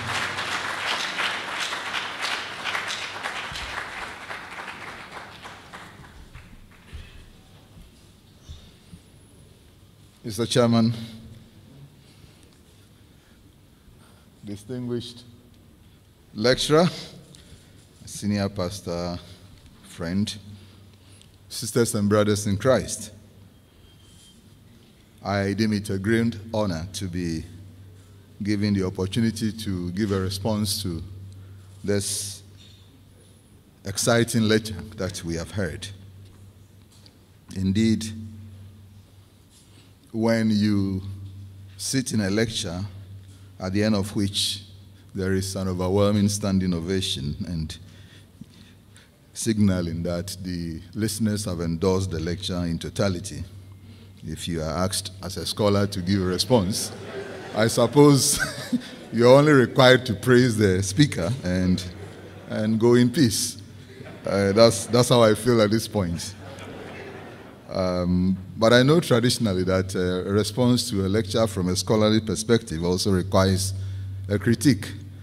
Um, I shall attempt to fulfill all righteousness, but at the same time, um, I have to already associate myself with, um, I would say, most, most of the claims that the, the speaker has made and to say to him, Congratulations.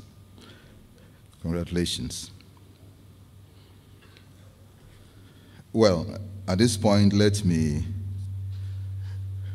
attempt a kind of a summary, and I'll start with this line By all means, raise money to support God's work, but do not manipulate people. I think that's what was saying to us. And he gave evidence for him from the scriptures. It's not as if uh, the claims are from his imagination. And that is what makes my work easy. So the topic was tithing, uh, mandatory tithing versus voluntary sacrificial giving with uh, the New Testament church. When I listened to him at the end of the lecture, one of the things that crossed my mind was to describe the imposition of obligatory tithing on Christians as Christian e-levy. Christian e-levy, right?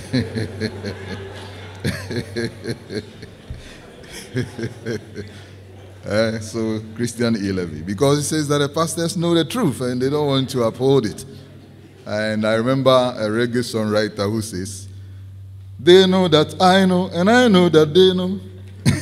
so Christians know, uh, the pastors know, but this is predictable source of income. I am told there are some uh, osofo maamenom who even say to their the people to whom they are indebted, uh, when my husband returns, I'll pay because he's coming home with uh, part of the tithe money. well, um, as the Dr. Mano indicated, the lecture was given in the spirit of Berea, and he indicated that Berea is merely an ancient Macedonian city which became part of the Roman Empire. And but for the reference in Acts chapter 17, Berea would have been an insignificant word.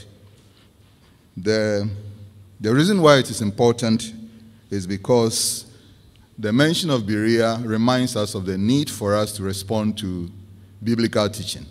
There is the need for a response. The Bible says, the Bible says, the Bible says, the Bible says. That is the syndrome destroying African Christianity. Because once the Bible says, then it means you cannot comment on it. That's the impression we are given, but that's not true. And I noticed also from the lecture that even though Dr. Mano didn't use these words, he kept reminding us that the Bible is both for Jews and for Christians. It is both for Jews and Christians. It's not only for Christians. In fact, the Old Testament, what we call the Old Testament, is, is appropriately known as the Hebrew Bible. And it is the same Bible people use to practice their Judaism. After all, Bible is from a Greek word which simply means book. So it is a Jewish book and it is also a Christian book. Christians should not claim monopoly over the whole of it. And Dr. Mano made the point that no matter who the teacher is, the lecture, the teaching ought to be examined by Christians.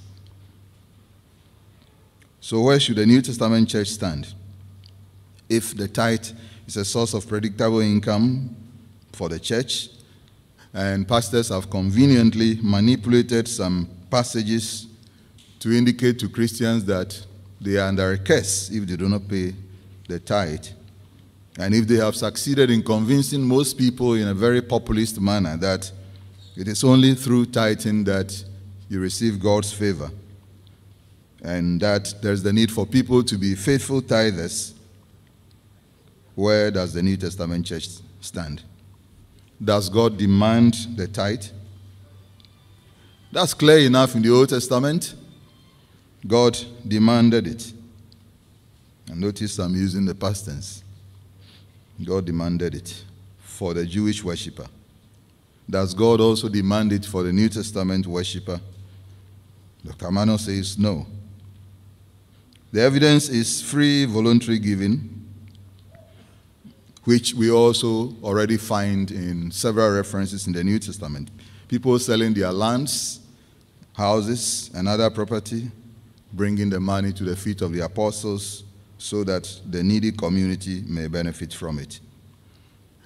In the New Testament, there are three references or so to the tithe. Jesus' popular critique of the legalistic Pharisees, Matthew 23 23, and the parallel passage in Luke 18 9 to 14. Then those references in the book of Hebrews. Dr. Mano argued that Jesus' priesthood is superior to the Levitical priesthood, and that was the point the Hebrew references sought to make or seek to make. And he inquired if tithing were such an important doctrine for New Testament Christians or post New Testament Christians. Its absence in the epistles of the Bible, epistles of the New Testament, is very surprising because, as he convincingly argued, it is in those epistles that we find Christian leaders responding to problems in their various Christian communities using the Gospels and Christian tradition as a basis.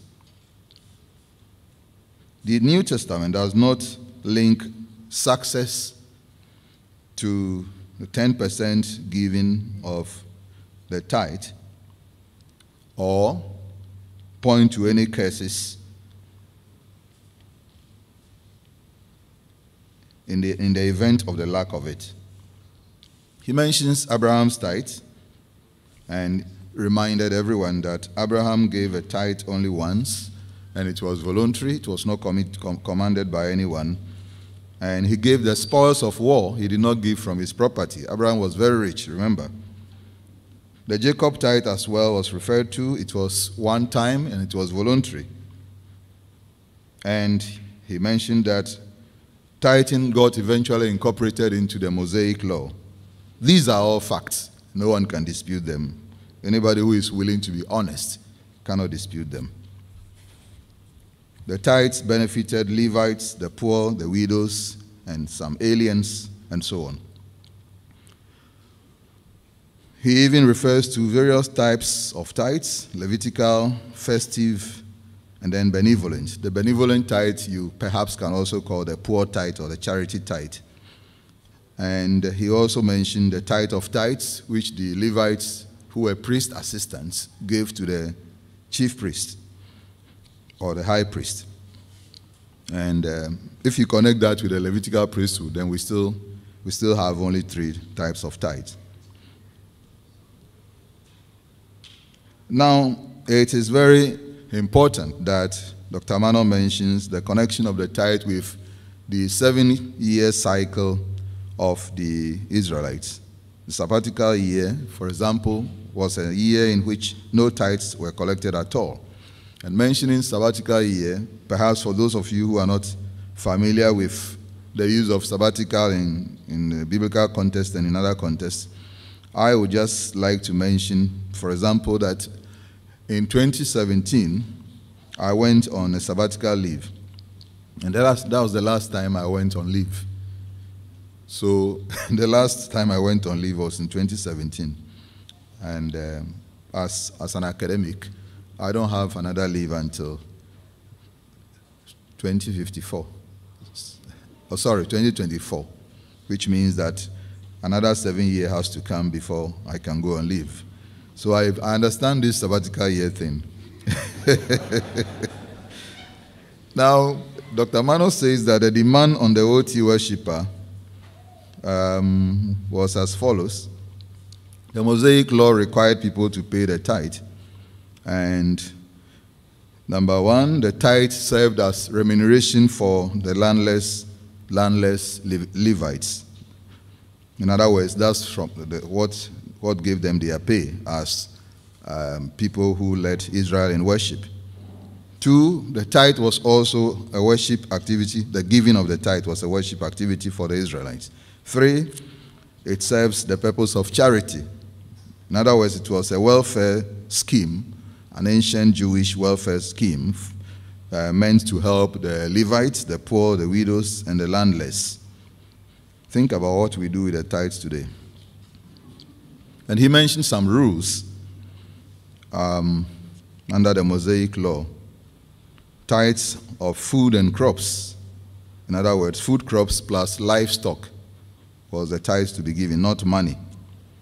He gave evidence that um, money as a means of exchange was already in place. He mentioned some of the type of monies they spent.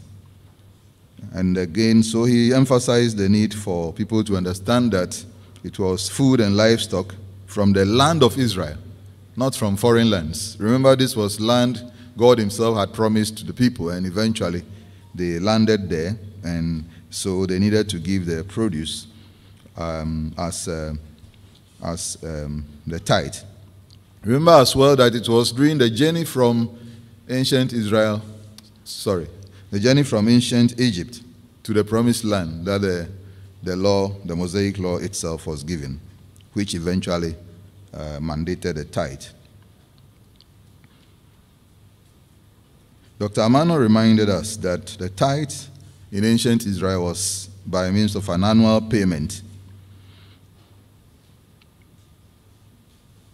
So, annual payment paid in, paid in ancient Israel And he even reminded us that modern day Jews do not pay the biblical tithe. 21st century Israel, Bennett Israel, do not pay the tithe. And those of you who may not know, I would like you to perhaps just search using your search engine to find out the percentage of uh, 21st century Israelites, the modern state of Israel created in 1965. Find out how many percentage are Christian. Because I know there are people in Ghana who, based on Psalm 122, say that they are praying for the peace of Israel so they will be blessed. You find out what percentage of Israelites are Christians in the first place. One of my senior colleagues visited Nazareth not too long ago, Jesus' hometown. Even there, Christians are in the minority. That should tell you something. And to help to get Christians, African Christians in particular, reflecting. Now, Dr. Mano indicated that the destruction of the temple by the Jews, sorry, by the Romans, um, the Levites, sorry, the Gentiles in uh, AD 70, is responsible also for the erosion of the tithe tradition in Israel, because trying to find the tribal identity today will be uh, an impossible task. There's no way to determine a Levite today, because all the records have been eroded because of war. And when he made that point, the description of Israel that came to my mind was a nation on the move. A nation on the move. They, they can't even be very sure of who they are and where they belong to and all. But then Dr. Mano would make the point that as far as tithing is concerned, it has been abolished, it has, it has been ended, it has been fulfilled, fulfilled in Christ. And you should remember Matthew 5:17. Do not think I have come to abolish the law or the prophets. I have not come to abolish but to fulfill. Some people only see the word I have not come to abolish. They only see abolish. They don't see fulfill. There's fulfill in there. So you should also pay attention to that. And then some information about the current synagogues, the rabbis, and how they lead non sacrificial worship, and so on. Um, New Testament or New Covenant giving. It's voluntary, it is individual, it is generous, it is cheerful, it's, it's based on seed sowing. Um, it has nothing to do with giving to receive, it has not, nothing to do with bargaining with God uh, for blessings. It is proportionate to one's income. It is, in fact, in response to needs. Mandatory tithing started in the 6th century, and it even later on got its fuel from ecclesiastical decree.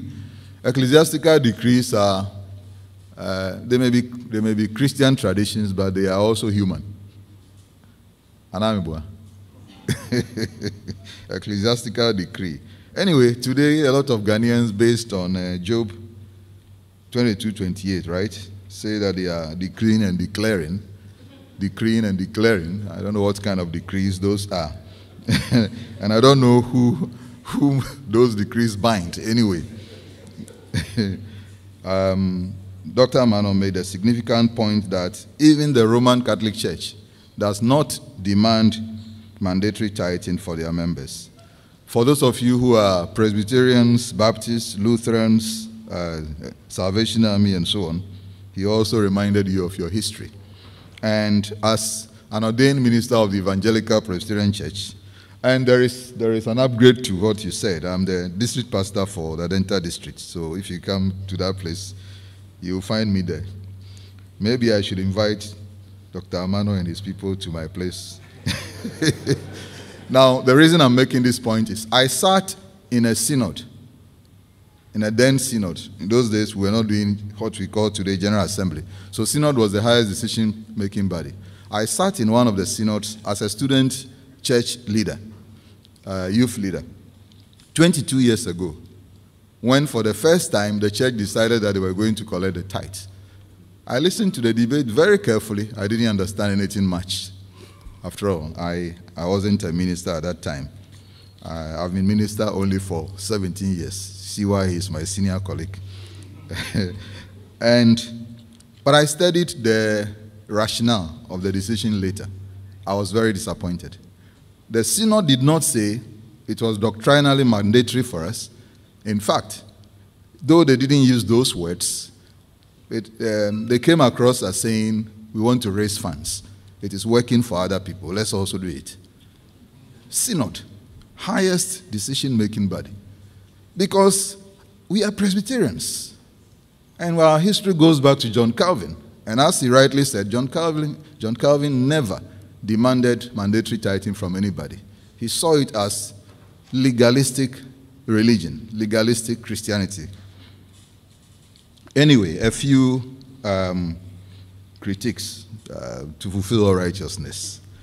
Uh, these are not weaknesses. I would say that um, one of the obvious, uh, I don't know how obvious it will be to others, one of the obvious uh, critiques will point to the fact that Dr. Mano did not deliberately make a case for mandatory tithing. He needed to do that to convince those who write books and mention uh, how many cases? how many cases? Almost 100.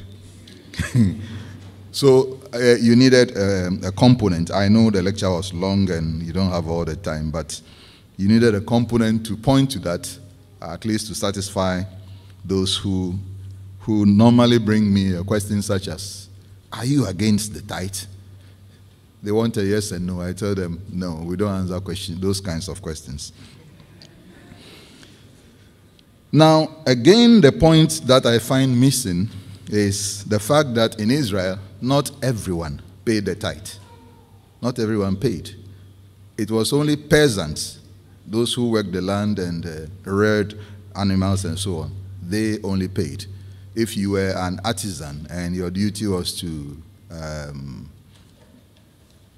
build or do some other things that have nothing to do with the land, you didn't pay the tithe. And yet, today we make it look like it was everyone. It was everyone. In fact, they just approach it in a well, well fashion. So some people were non-peasant, I would say, were excluded, and that point needed to be made. Again, the question of the Mosaic covenant. Is it eternal? Does it have eternal validity? Was it meant to fulfill a certain role and no more? He did not address that. I know it's controversial, but I, I, I thought that it would have strengthened the paper even further. Then the references to two passages, Luke 6:38 and 1 Corinthians 16:2. Well, somebody might raise an objection. If you look at the context of Luke 6:38, it has nothing to do with giving of money. In fact, even though many Christians have memorized it and they say it everywhere, it has to do with judgment, judging your neighbor. You only need to look at the context. Using it to support or challenge any argument relating to tithing is not convincing. The other one, 1 Corinthians 16 2, again, though it teaches individual, uh, intentional, premeditated giving, it is also in reference to the specific collections that Paul made for poor Israel, poor Jerusalem, from the Gentile churches. Since it has nothing to do with the tithe, I'm sure that Dr. Amano, your opponents would like to point you to that one. Well, finally, I, I have, if you listen to the way I'm speaking, you know that I have done a lot of research on tithing and uh, I've published a number of things. One of the things I found out was that even in, under the old covenant, the OT worshiper mandated to give the tithe was required to pay up to 23% of their income. And then I tried to put percentages on the sacrificial giving of the New Testament. That came to about 40%. So it tells you that if Christians, pastors in particular, were willing to do the hard work and were willing to teach their members to give sacrificially, the church would have received far more than it is receiving by using threats. Threats. On this note, Mr. Chairman, I thank you for the opportunity.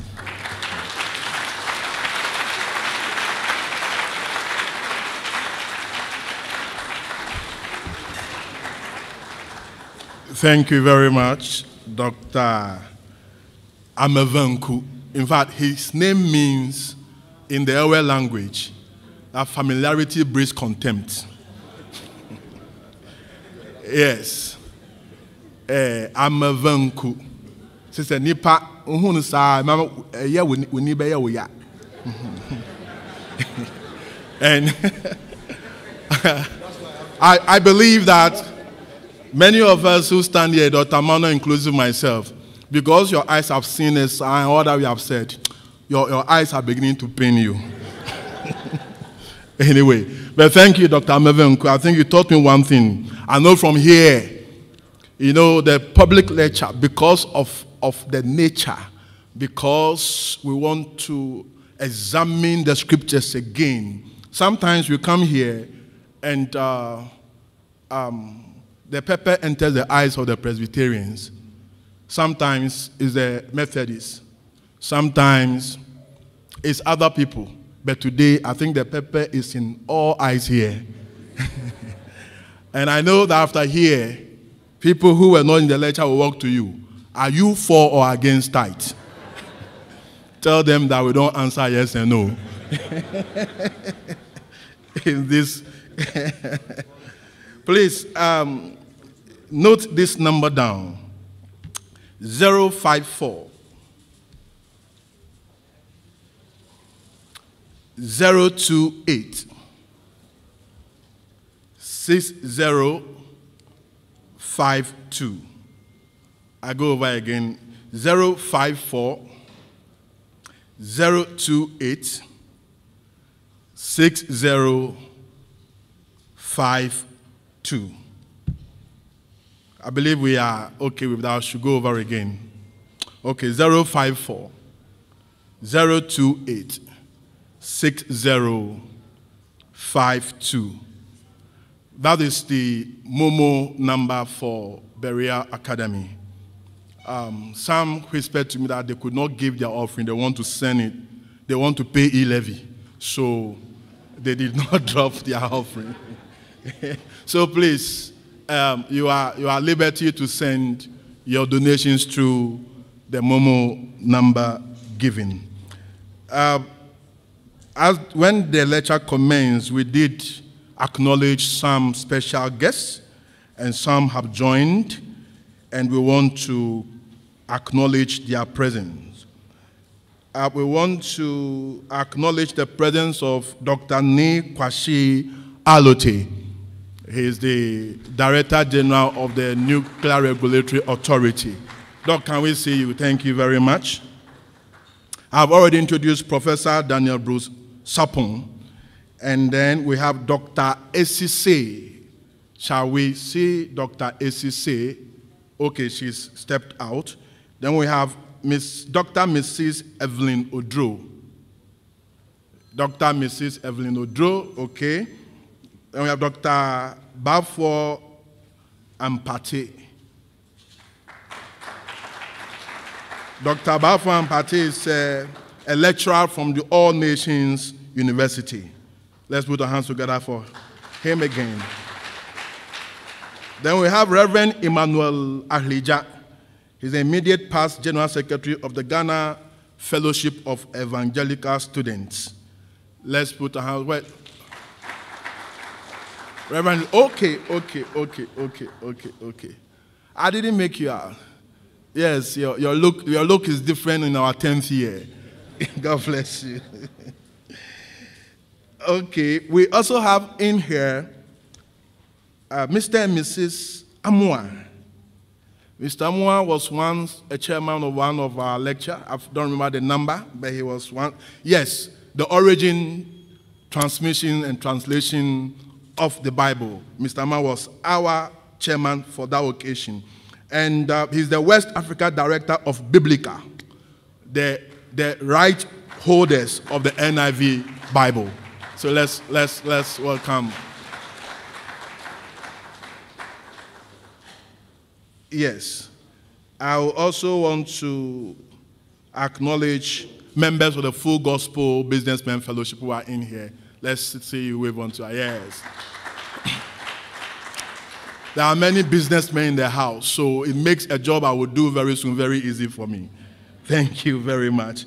I also want to acknowledge the Berea Lecture Planning Committee and the lecture support team. They are also in attendance. Shall we see you by hand? The indefatigable chairman is in and is seated at the back.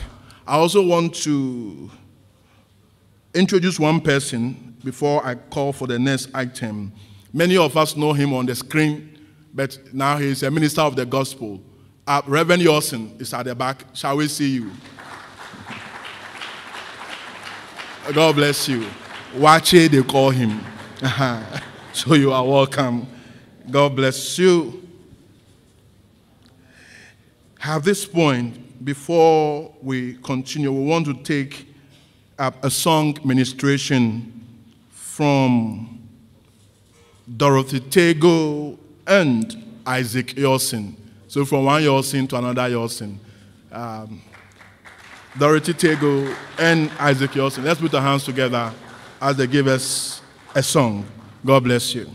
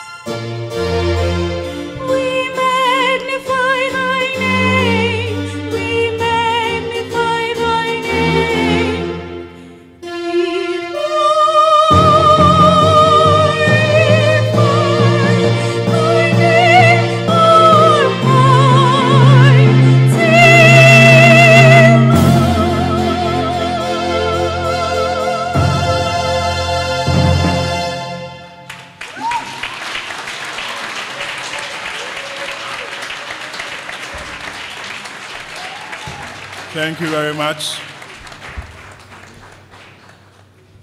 Dorothy and Isaac, God richly bless you.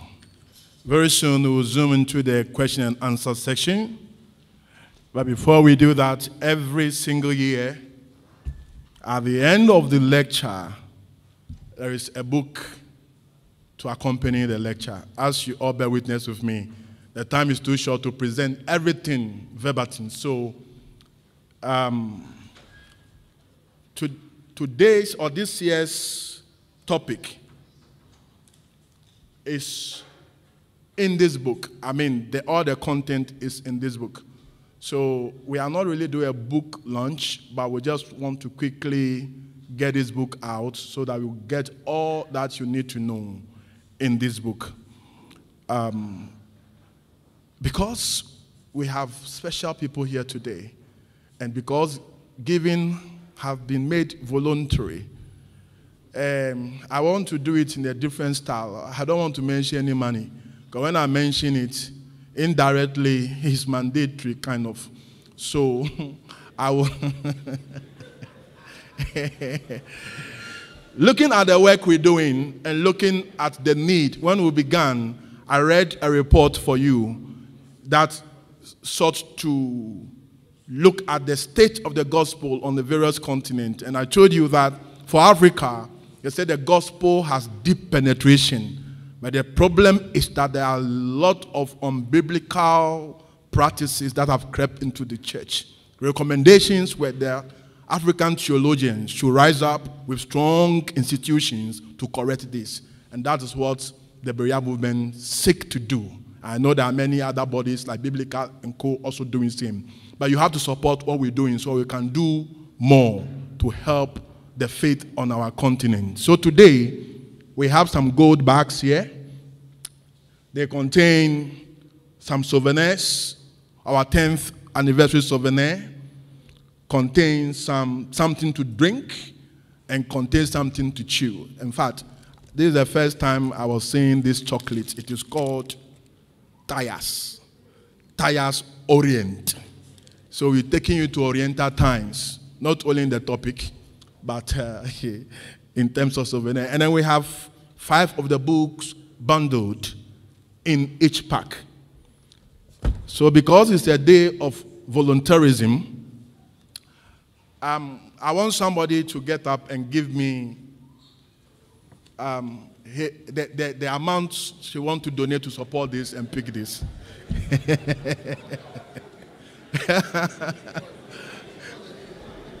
Come again. No, I'm not giving minimum, but I'm still, I'm still uh, uh, admonishing you that he who sows bountifully reaps bountifully. So um, it is, it is in your power to decide what to do. So who will set the ball rolling for us? Uh, certainly, the countenance of a man sharpened the other person's countenance. So what you do first will determine what the others will do. So we are looking up to you. Jesus is looking up to you. There are angels in the midst. They are all beholding us this morning. So, who is taking the first bag? Let us know how much you're giving to support. There is a hand. Where is the hand? Okay, sir. Please do come forward. Let's let's put our hands together to our first volunteer. Ha! The second person is also coming. Okay. So, please. No, I won't give it to you first. Ah, it was the mic you were asking for. Thank you very much. A thousand cedis. Whoa. God bless you. A thousand cedis for this bag. So please, the ushers should. Yes, sir. Thousand. Another thousand. God bless you. Do we have more people helping the cause? Yes, please come. Please, when your hands go up, just come forward. Let, let's come forward and let's support this worthy cause. Let's support this worthy cause.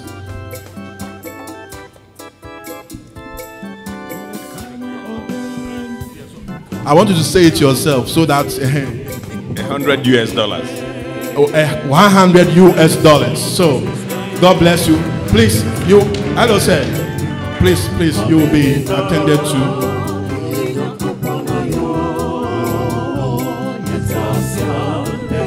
God bless you. So please the ushers. Please, who else is coming? Thank you very much, Mrs. Samoa.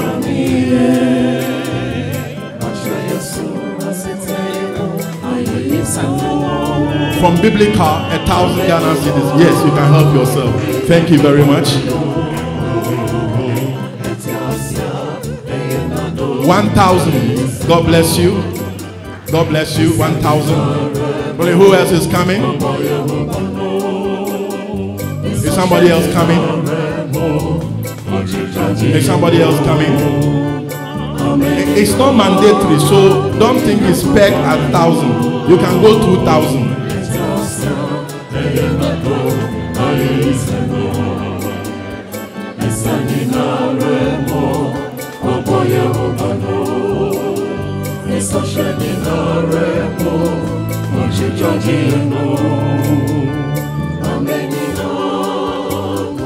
The the chairman want to take one, but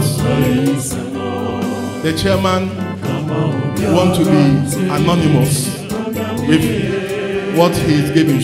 Are we agreeing to that? okay. He said he has the right to act voluntarily, and he's deciding to be anonymous with Mr. Mom. So please give one to chairman for me. Yes, please. Are you doing the line of chairman? Okay, 2,000. God bless you. God bless you. Who else is coming? Who else is coming? Who else is coming?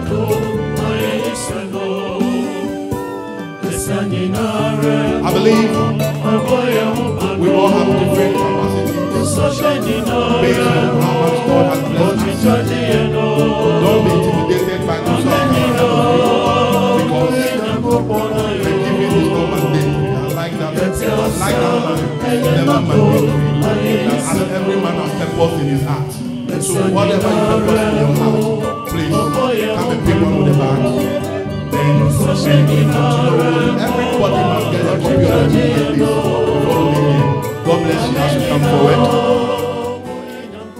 God bless you. Any more? One thousand. One thousand. Now, I, I've been a pastor for a long time now. So I told you that whatever you do is exactly what everybody will be doing. But this one, it is not by coercion. This one is as you purpose in your heart. I pray that God will bless all those who are helping this cause. Yes, sir. Thank you. 1,000. I told you. So let the 1,000 flow, flow. But then once again, it is what you have purpose in your heart. Don't be, don't be, don't be intimidated by the 1,000 and the 100 US dollars. Uh-huh. You please. Yes, sir.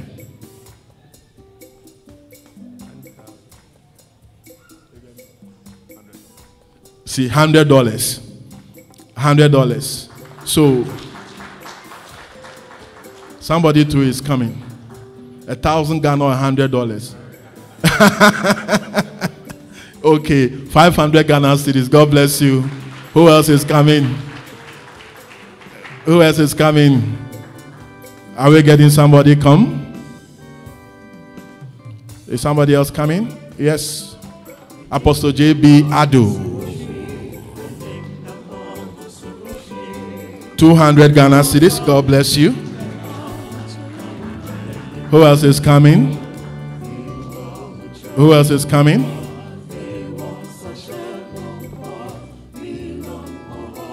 Who else is coming? Who else is coming? Do we have anybody for the gold bag? Uh, we have some silver bags as well.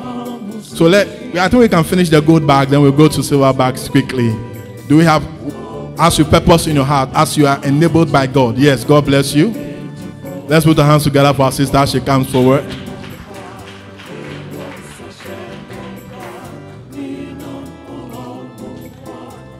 Two hundred Ghana cedis. God bless you. Who else is coming? Who else is coming? Yes, sir. Reverend Ahleja is giving us 500 Ghana cedis. God bless you. Hundred dollars. Thank you. God bless you.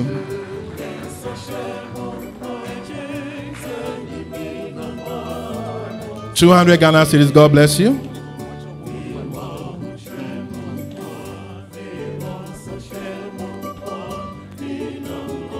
Yes, that's the choir director for El Dunamis Minstrel.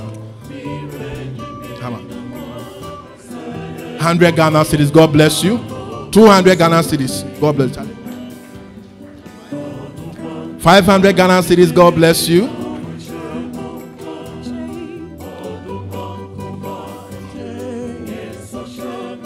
Please let's support this worthy cause. Yes, there comes Ni Nima Te Commodore. Yes.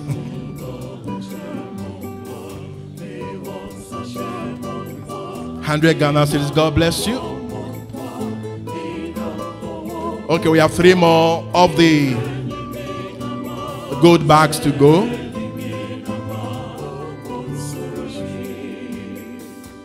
Biblical. Okay, Mrs. Samoa.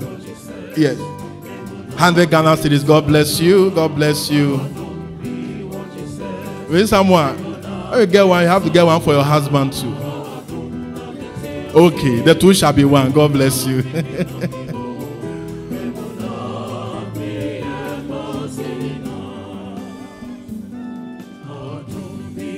God bless you. Please let's come forward and support this worthy cause. So we have the whilst we are at it, please get your questions ready because the next item on the bill is the Q&A session. Oh, 1,000 Ghana cedis. God bless you. God bless you. We have some few silver bags to go. Let's get them off the table. And then we will be nearing the end of today's lecture. Yeah, somebody is coming from the back.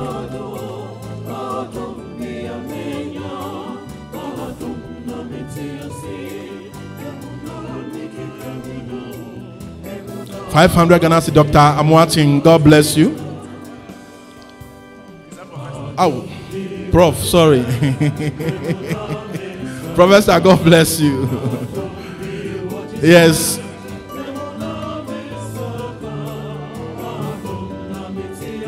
Yeah, more are arriving, and the youngsters are also arriving. Yes. Is it three in one? Okay. God bless you. God bless you. God bless you. God bless you. We have four more.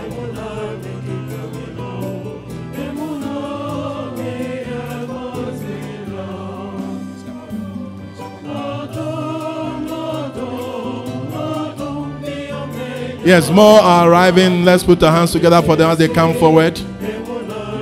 God bless you. God bless you. God bless you. God bless you.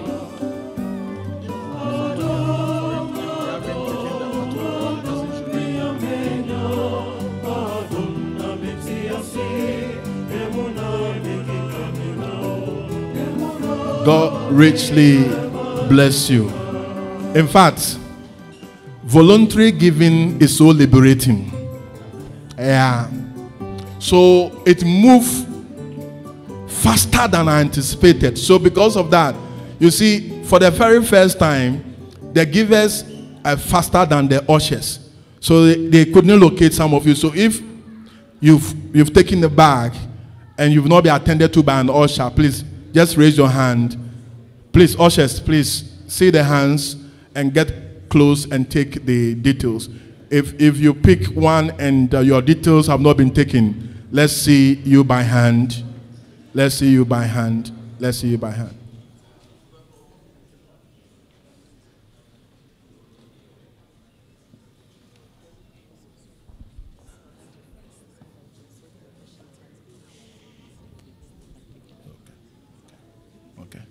All right, so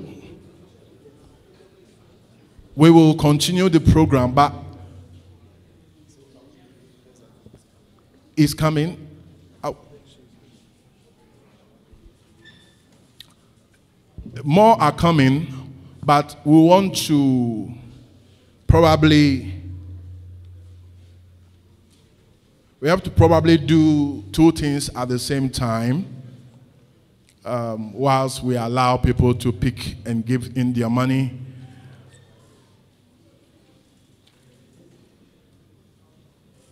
Everybody here must get at least a copy of the book. So, what we're going to do is that after the bags are gone, the ushers will come around with the books. You give us anything 30 Ghana cedis and above, you pick a copy of the book. Meanwhile, all the previous lectures books are on sales at the front. So when we close, don't be in a hurry to leave. Just stop by the table, look at all the series, and look at the book you want to own. So not long from here, we'll be coming around with the books, even as the questions go on. All we're asking for is a silver collection of 30 cedis or more and pick a copy. You, you shouldn't leave here without a copy of the book because the details are in the book.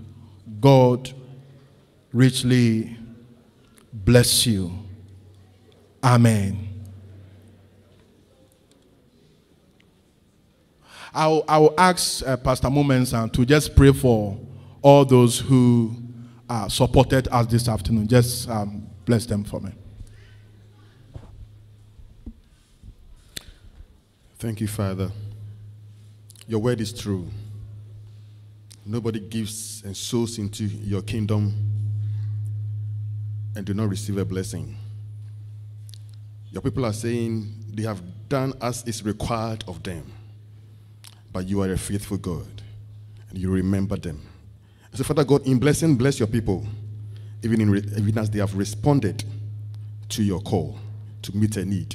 In Jesus' name, Amen.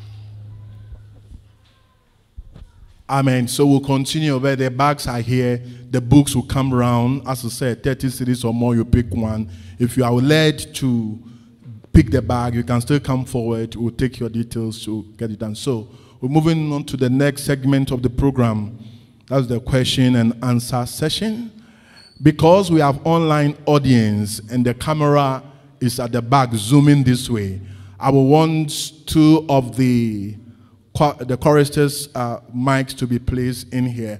So when you want to ask the question, you raise your hand, you acknowledge, I call you, you come forward, ask your question. But please be brief with it. One man, one question for now. Um, if there is need for follow up later and we have time, we will do that. Mind you, we also have online audience and we'll be taking their questions and we'll be reading them out. So um, Mr. Chairman, with your indulgence, I open the question and answer segment. But please, we just want to say that this exercise has been part of the church's history since time immemorial. If there are issues, they meet, they talk, they present papers, they read a conclusion. Nobody fights over this. So please, we don't want any fights. So far, it's been a serene day let's keep it that way. You disagree, let, let's, let's share it in a brotherly manner and we'll move on from here. So, any question so far? Okay, I see one hand up. So I will acknowledge five hands at a time and then they take turns to come. So I've seen one, two. Okay, so the two can start coming. When you come, you tell us your name. I'll, I'll prefer the mic to face the audience so that they, they also face the audience so the camera can pick them. Thank you very much. Okay. So you tell us your name and where you're from and then your question. And it will be noted and answered. Thank you very much. Hello. Hello.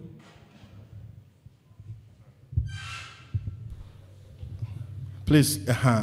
My name is Tony Awiti. I come from Yarifa.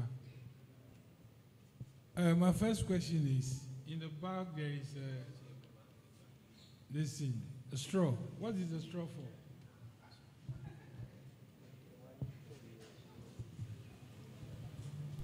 Please, uh, you asked him that in the which bag? The gold bag I took, there's a straw in it. What is the straw for? A straw. To drink. Yeah, because there's a drink in the bag. There's no drink in your bag. It's an oversight. So we we voluntarily put one in your bag. Okay, now my question is, you see,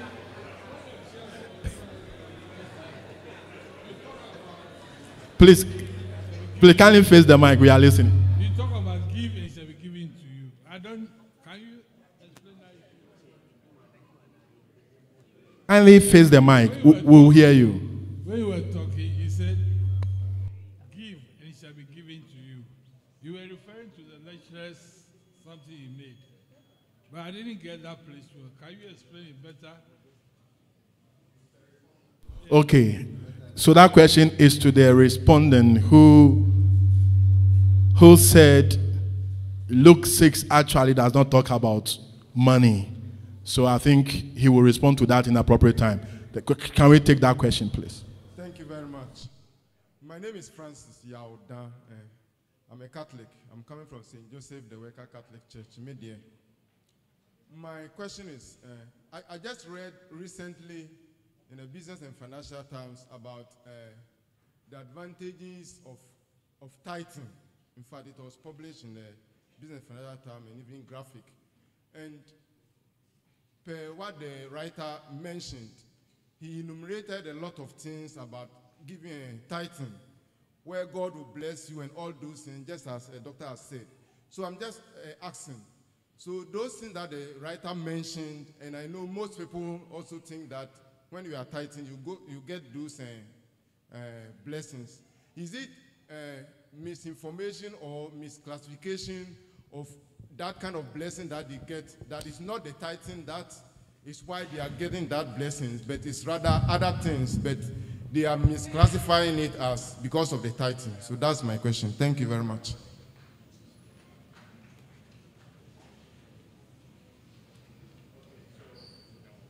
The question have been captured. It will be answered. Any more? Yes. The third one, then we'll take the response quickly. All right. My name is Prince Ajay from All Nation Full Gospel Church. Um, my questions are two uh, sowing bountifully and receiving bountifully, and sowing sparingly and reaping sparingly. I want to know if Paul was talking about eternal reward. I mean, the reaping. Is the reaping eternal reward or material reward? And then, secondly, I want to also find out um, you said in your lectures that we should sow into the work of God or to support the work of God. I want you to define the work of God. What is the work of God? I want to know um, what believers' financial or voluntary giving should support in the church. Is it the building or the poor and the needy? I also want clarification. Thank you. Thank you very much. So those are three questions. I think that should be enough for the response. After the response, we will take other questions if there are any. Okay, Doc. Okay, so we'll ask Dr. Amevenku to respond to the Luke 16. Six. Thank you for the question. Luke 6 38. I would like to read it first. Um, I know it's a popular text. Give, and it will be given to you. A good measure, pressed down, shaken together, running over, will be put into your lap. For the measure you give will be the measure you get back. And that is the passage that people quote often. But let us go um, to the beginning of the text. Verse 1 One Sabbath, while Jesus was going through the grain fields, his disciples plucked some heads of grain, rubbed them in their hands, and ate them. But some Pharisees said, Why are you doing what is not lawful on the Sabbath? Jesus answered, Have you not read what David did when he and his companions were hungry? He entered the house of God and took and ate the bread of the presence, which is which is not lawful for, for any but the priest to eat, and gave some to his companions. Then he said to them, The Son of Man is Lord of the Sabbath. On another Sabbath, he entered the synagogue and taught, and there was a man there whose right hand was withered. The scribes and the Pharisees watched him to see whether he would cure on the Sabbath, so that they might find an accusation against him.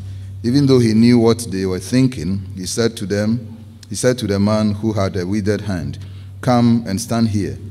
He got up and stood there. Then Jesus said to him, I ask you, is it lawful to do good the, or to harm on the Sabbath, to save life or to destroy it? After looking around at all of them, he said to him, Stretch out your hand. He did so, and his hand was restored. But they were filled with fury and discussed with one another what they might do to Jesus. Now, during those days, he went out to the mountain to pray, and he spent the night in prayer to God. And when day came, he called his disciples and chose twelve of them, whom he also named apostles Simon, whom he named Peter, and his brother Andrew, and James, and John, and Philip, and Bartholomew, and Matthew, and Thomas, and James, son of Alphaeus, and Simon, who was called the Zealot, and Judas, son of James, and his Judas Iscariot, who became a traitor. He came down with them and stood on a level place with a great crowd of his disciples and a great multitude of people from all Judea, Jerusalem, and the coast of Tyre and Sidon. They had come to hear him and to be healed of their diseases, and those who were troubled with unclean spirits were cured. And all in the crowd were trying to touch him, for power came out of out from him and healed them. Then he looked up at his disciples and said, Blessed are those who are poor, for yours is the kingdom of God. Blessed are you who are hungry now, for you will be filled. Blessed are you who weep now, for you will be. Blessed are you who, when people hate you and when they exclude you, revile you and defame you on account of the Son of Man. Rejoice in that day and leap for joy, for surely your reward is great in heaven. For what for that is what their ancestors did to the prophets. But woe to you who are rich, for you have received your consolation. Woe to you who are full, full now, for you will be hungry. Woe to you who are laughing now, for you will mourn and weep. Woe to you when all speak well of you, for that is what their ancestors did to the false prophets. But I say to you that listen, love your enemies, do good to those who hate you, bless those who curse you, pray for those who abuse you. If anyone strikes you on the cheek after the offer the other also. And from anyone who takes away your coat, do not withhold your shirt. Now 30. Give to everyone who begs from you, and if anyone takes away your, your goods, do not ask for them again. Do to others as you would have them to do. If you love those who love you, what credit is that to you? For even sinners love those who love them. If you do good to those who do good to you, what credit is that to you? For even sinners do the same. If you lend to those from whom you, you hope to receive, what credit is that to you? Even sinners lend to sinners to receive as much again. But love your enemies, do good, and lend, expecting nothing in return. Your reward will be great, and you will be children of the Most High, for He is kind to the ungrateful and wicked. Be merciful, just as your Father is merciful. 37. Do not judge, and you will not be judged. Do not condemn, and you will not be condemned. Forgive, and you will be forgiven. Give, and it shall be given to you a good measure, pressed down, shaken together, running over, will be put into your lap. For the measure you give will be the measure you receive. You get back. Amen. Now, what I'm drawing your attention to is for you to pay attention to the context of every Bible text you read.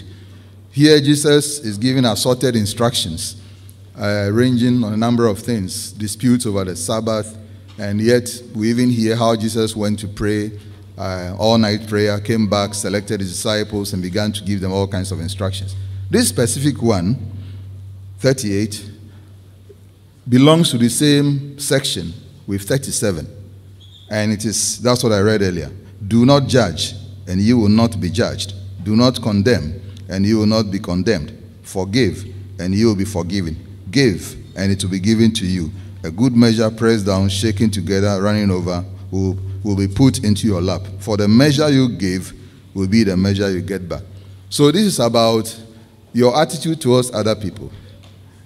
See, um, judging people is like giving them judgment. And if you judge them in accordance with a certain standard, it is the same standard that you will be judged. And that's the point the author is making. Thank you.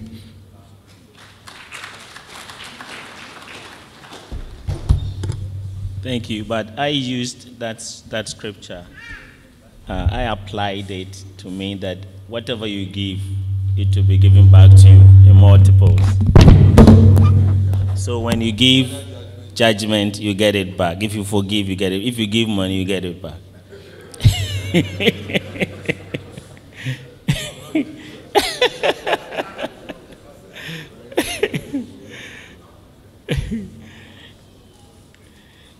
okay. Uh, I, I was wondering why what tithes was doing in the business and financial times. Tithing is supposed to be a spiritual activity done in the church. What is it doing in the business and financial time? It is business over there.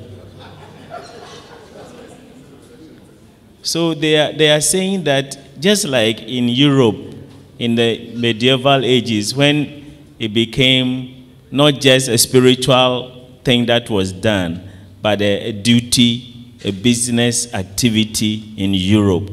So people are, there are some people who even believe that even if you are not a believer and you pay tithes, God will bless you.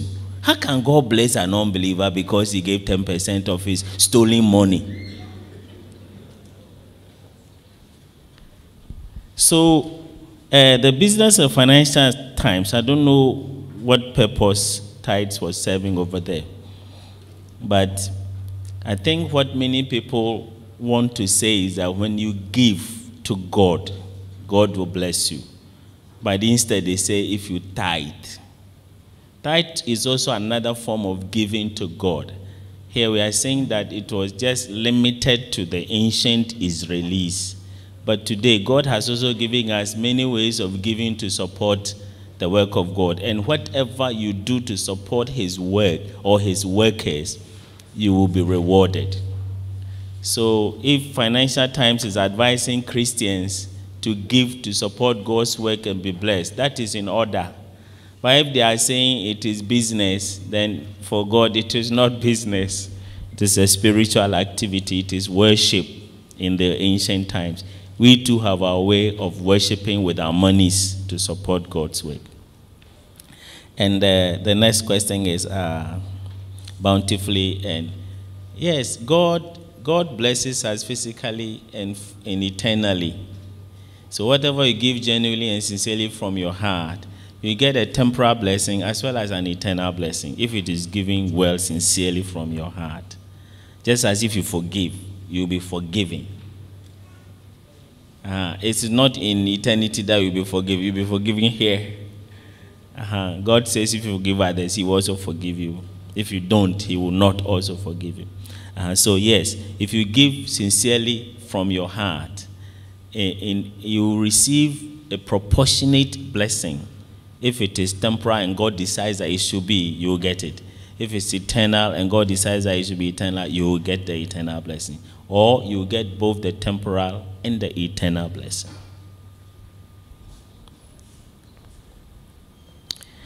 Then, uh, what is the work of God?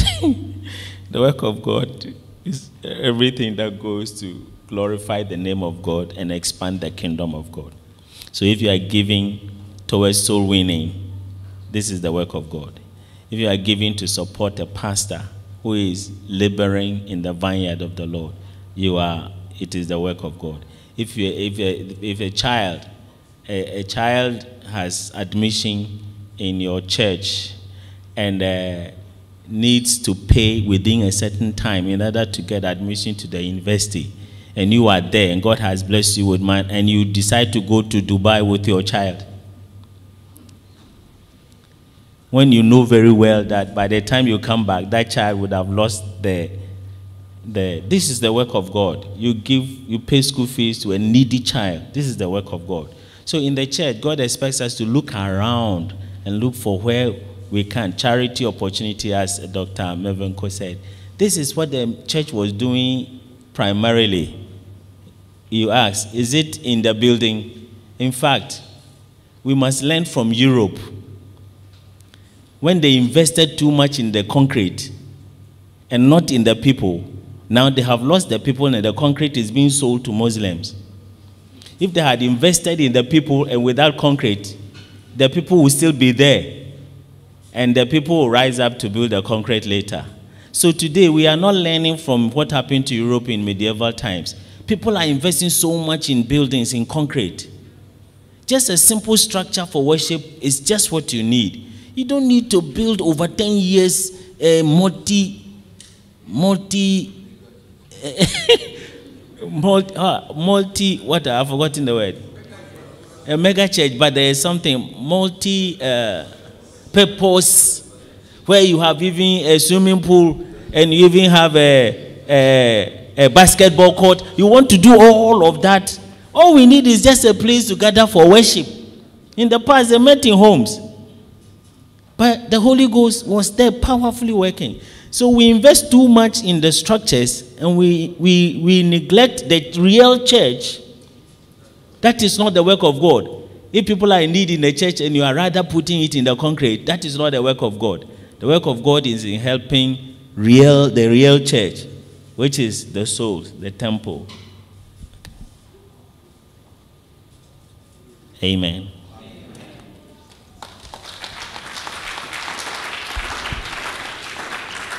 Thank you very much. Doc, um, some hands are coming up, but I will read two online questions and then the two will come. So the two at the back and then the hand here. There was somebody here too. Yes, so please stand by the mic. All the others come this way so that when I see you standing, when I see you standing, that's the condition. Not all of them, the three I called. The rest still be seated. I will come to you at the right time. So the, I've called three people to join. So please, before you ask a question though, there is anonymous guest online. Say, thank you, Dr. Mano. Please, how do you suggest that men of God and their families are taken care of today? Especially those who are full-time ministers. That's the first question. The Kwabena is asking, is given in the church today based on needs? What do you consider as needs? Again, to what extent and for what should pastors depend on the church? The third question online.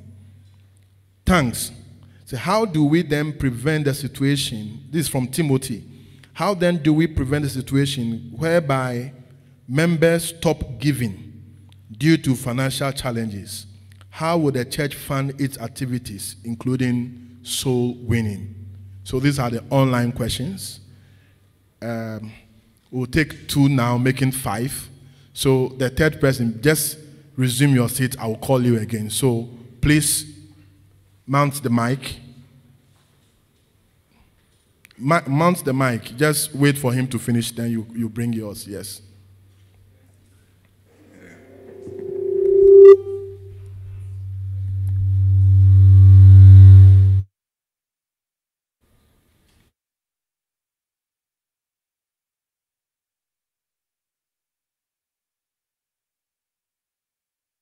Please, thank you very much.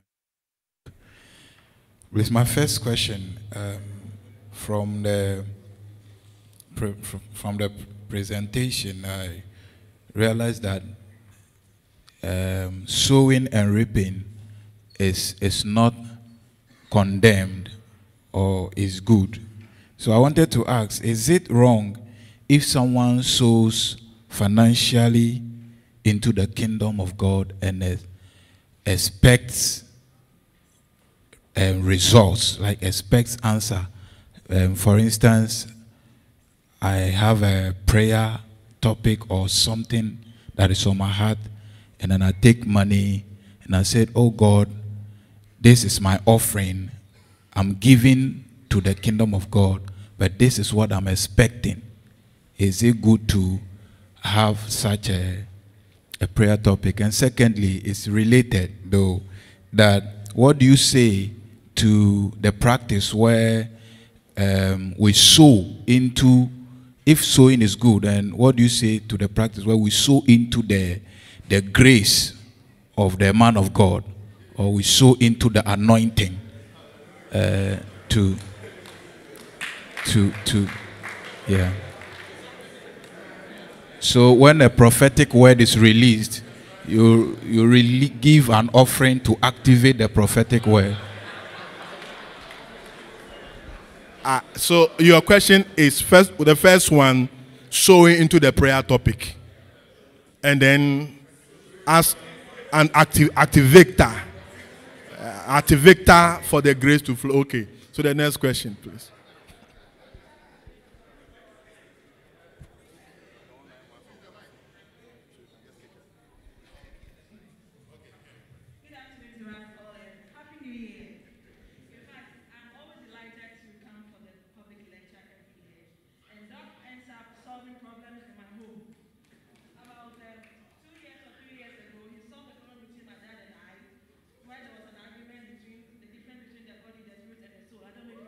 and today you have solved another big problem in my home with this topic.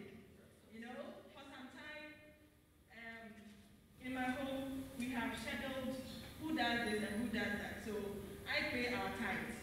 But for some reason or the other, about six months, tithe hasn't gone. And my husband will always come. We have to pay. We have to pay this tithe because we are owing God. We can't go without paying.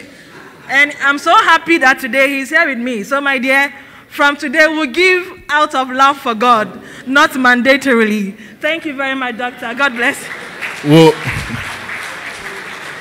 please, please, please. This session is Q and A session. we'll do another another uh, lecture on uh, uh, post-marital counseling, and that one you can come, anyway, that's my kid sister, so that's why I took you to that level. Thank you. Uh, amen. How should men of God be catered for? Uh,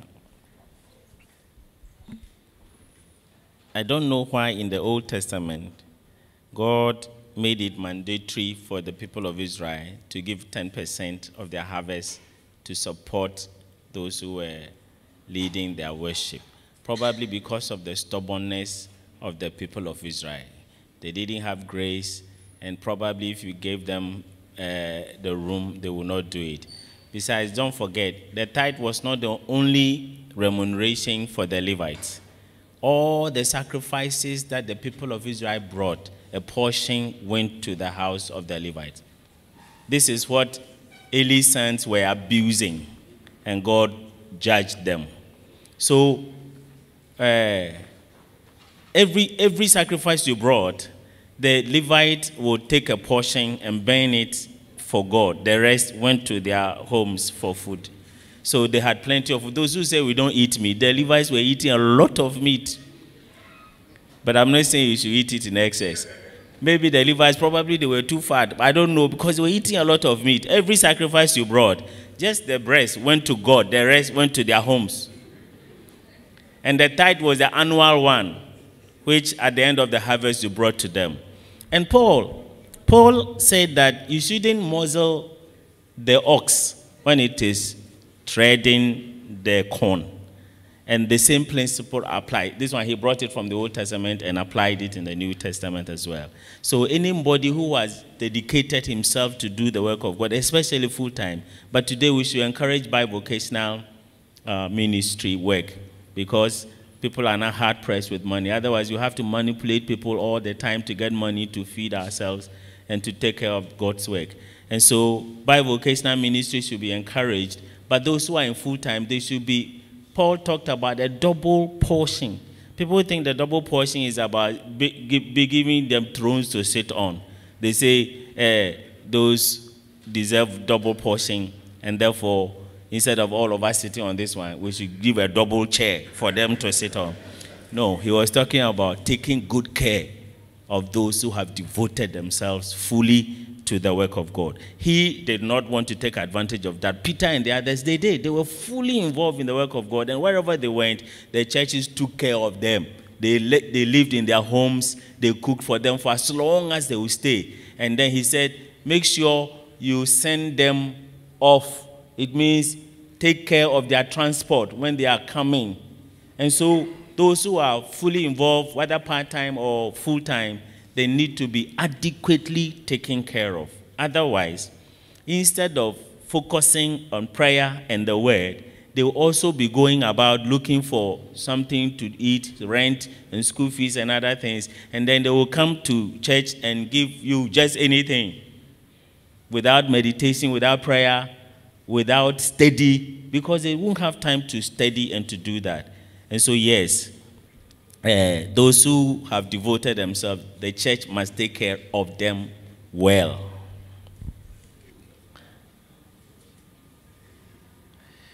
Now, what are the needs? Somebody asks. Now, uh, uh, which he thought should necessitate the tithe. But if you go to many churches and you look at their budgets, look at how much goes into evangelism and soul winning and, and, and, and Bible study and teaching. A lot of it goes into maintaining the structures and paying bills. A greater percentage. And when you, when you look at welfare for the needy of those who are inside, very, very, very small. That should have taken the, the greater percentage than building huge structures that require a lot of maintenance, a lot of money to maintain. Some churches, their, their light bills are so much because they have extravagantly. They I went to a certain man's house, an electrician in my, in my church, a deacon, took me to where he was working. And the house had 260 light bulbs. And some churches will want to do that. Of course, it's beautiful, but it comes at a cost. And therefore, when somebody needs some help, we can't because all the monies have gone into some capital expenditure. And so we should be careful, look at the actual needs of the church. The real needs are soul winning, taking care of those who are in, in the church if they have needs. And how do we prevent the situation where people will stop giving because we are saying that we shouldn't mandate them, oblige them to do that? Uh, that is left to the individual because they say it is not mandatory if you will not give. It is up to you because we are giving as part of our worship to God. Just as we lift up our hands and we sing, we also give. A good Christian who is being discipled would want to give. One of the marks of good discipleship is giving to support God's work and giving to support the needy around you. That is one mark that you are growing spiritually. So if because we are not teaching people to grow spiritually, we are going to use Old Testament laws to make them give, then we are in trouble. But if we should teach them to grow in their discipleship, one mark of discipleship is wanting to give to support God's work and to support the needy. So there should be no fears. If we want to do the hard work of teaching people and letting them know and understand God's word, we won't have any fears that if we, if we don't force them, they will not give. But forcing people to give for them to go and regret later, we have not helped them at all because whatever blessing that should come will not come. They give, you force them to give. Or a certain woman told me that uh, she was having problems with her husband at home. The husband was abusing her, and she went to report to the pastor in the office. As soon as she finished, the man uh, uh, went to his laptop and went to the data and checked. Ah, okay, you, you have arrears of five months of tithes. I'm not surprised that your husband is beating you.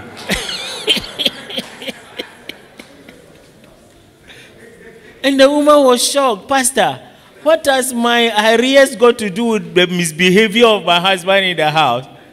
You see how we connect them? Because you don't pay tithes, that's why you are dying. Your children are dying. Because you don't pay tithes, that's why your business is flopping. Is God so fixated on 10% as a magical percentage that brings blessings? No. Whatever you give freely, sincerely from your heart to God, whatever percentage, God respects that. And God will bless you in proportion to that.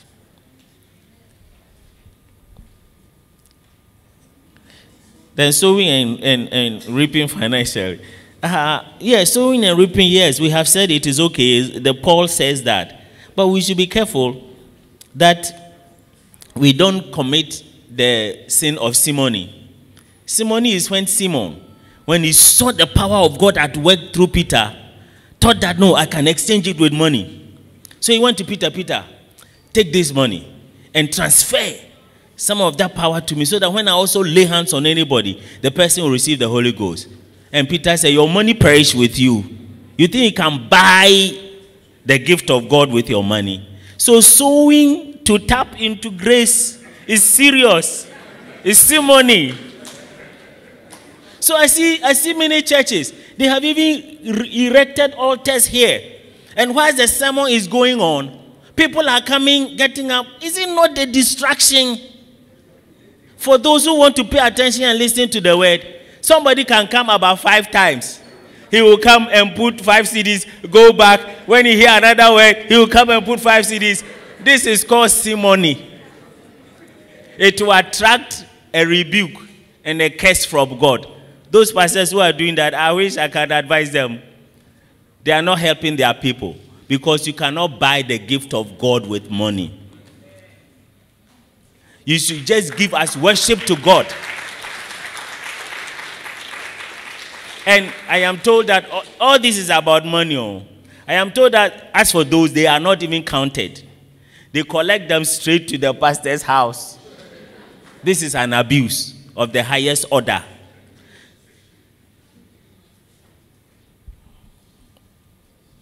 Sowing into grace. A, a, a certain one of our pastors told me that he accompanied a wife to a prayer retreat and they were getting up early in the morning to pray every morning. And when you go, the prayer leader has the prayer topics on the screen, which they are going to pray about that very morning. And the prayer leader will say, If I were you, I will sow into this topic. I mean, what is this? I am coming to pray to God. You have given me a topic to pray on. I must give money and sow into the topic even before I pray. This is abuse. God help us.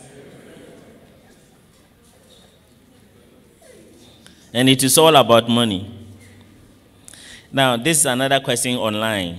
Uh, thank you, Dr. Mano. Please, how do you suggest men of. Oh, we have read that.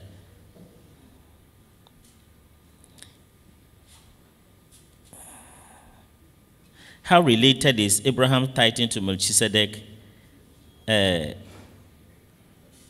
to the Levitical law, could Moses be likely adopting this either way culture in yes yes that's what i said. It was a practice that was there before the law of moses.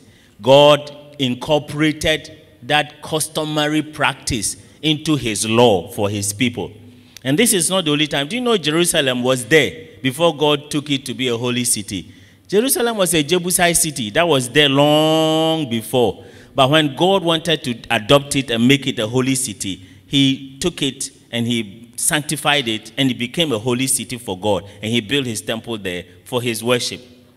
And so tithe was a practice. And God used it and incorporated it into his law. Until it became part of the law of Moses, God had nothing to do with tithing. So Abraham's tithe was not a commandment of God. It is customary practice of his time and he met a king, and so he paid taxes to him after going to battle and getting booty. It was not his income, it was tax he was paying. He, he, tax, he, he Christian ye levy. This is Hebrew, Hebrew ye levy, which Abraham paid to Melchizedek.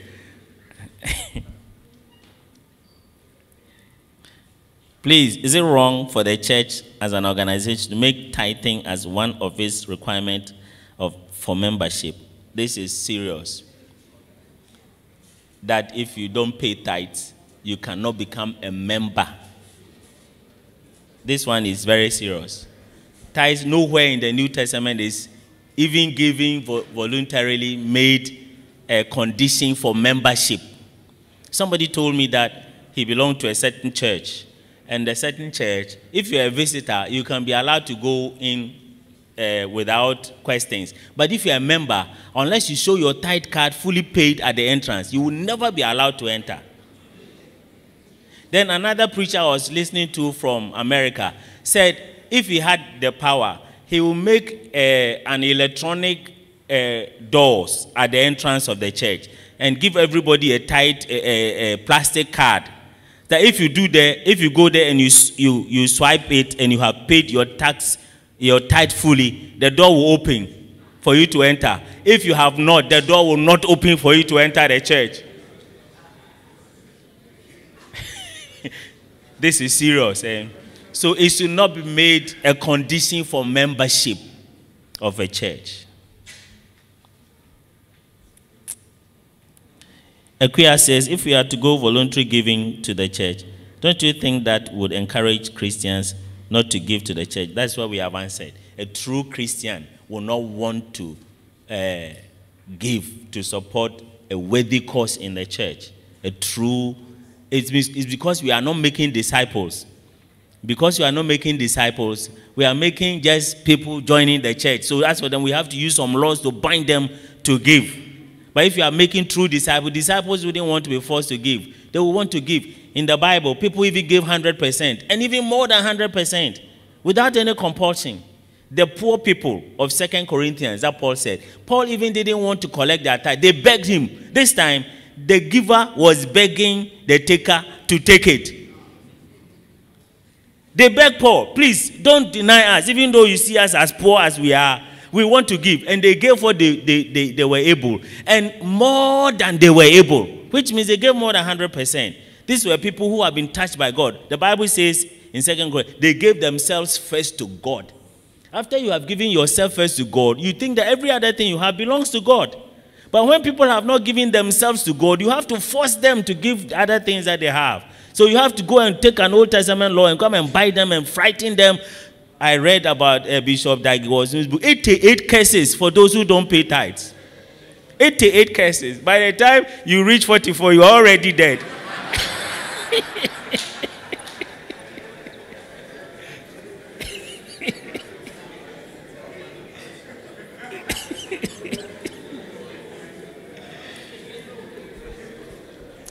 Please, is it appropriate to use that money to assist the poor and the needy in society rather than to send it to church? Uh, this is not good. Needy in society. Who are those? Uh, uh, uh, these people standing by the junctions, uh, are begging for alms. Money you should go and give to your church for soul winning and to support the work of the church. You say, no, I'll rather go and give it to those who are standing by the roadside. Some of them hate God. Some of them hate Christ. Some of them don't even want to get well. Tell them you will take them to hospital. They say, no, we want to sit here and beg. Go and waste your money on that instead of going to give it to your church. No, your church first.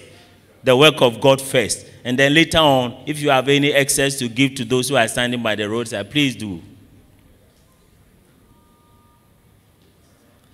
Is giving voluntary and monetary l- laundry since some Christians perceive giving from your income every month will one day open a blessing gate. I didn't understand that, but yes, giving voluntarily and freely from your heart will really attract a blessing from God. That one, there is no doubt about that. But don't turn God into a vending machine or a lottery machine that you go, you, you put it in, and you are waiting. Uh, somebody has a question. Can I give and expect? No, give us worship. Even in the Old Testament, they give us worship. That is why in front of you, the priest will burn your sacrifice. If you want to collect the ashes, collect the ashes. It's burnt in front of you so that your, your, your gift is gone. Forget about it and just go home. God Himself, in His own time, looking at your needs, will bless you. So don't say, God, I want to marry. So, uh, how much, how much do you know God wants before He gives you a wife? You go and give Him 10 cedis and you think it is enough. Maybe He needs 1,000 before He gives you a wife.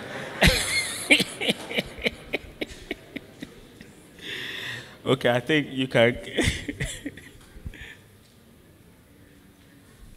Thank you very much. So we've answered a lot of the online questions. So let's come to the in-person guests. Um, yes, there is one. No, there was somebody who was waiting in line here. Please come forward, and you also join. Uh, no, don't start moving. Don't don't don't move yet.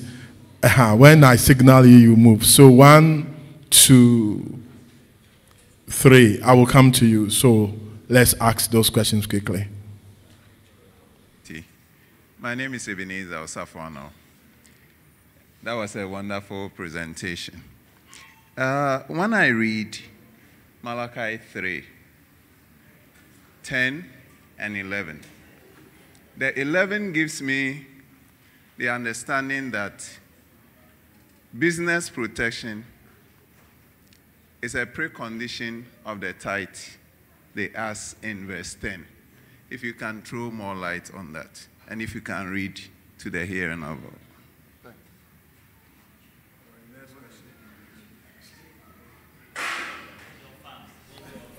Hello, come to this one quickly. Thank you very much. Please, my name is Benjamin, a student of University of Ghana. I want to ask this question that um, we've met a couple of Christians who make certain statements like, I pay tithe and it works for me where the person has a genuine concern with his, his or her business, he pays tithe and the business runs well. Is it that God ignores the fact that it's a lie that is mandatory and still blesses them? And so because of that, should we do it? Now, the second question has to do with a very popular phrase as far as giving is concerned, that we shouldn't come into the house of God empty-handed. Can you please touch on that a bit? Thank you.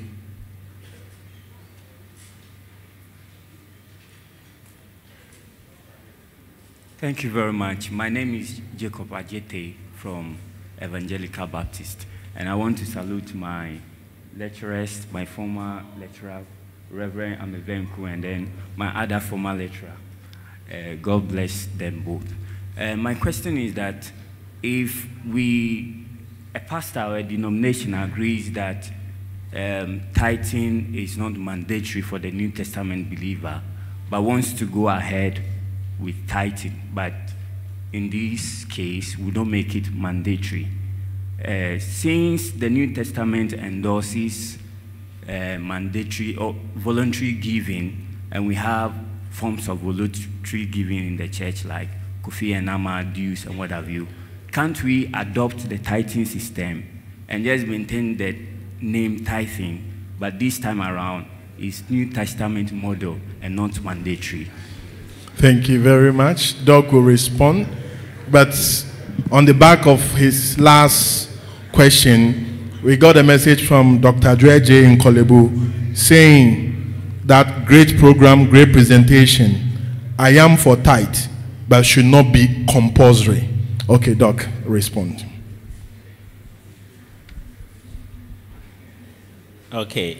Uh, one New Testament professor uh, said that if the churches think that the 10%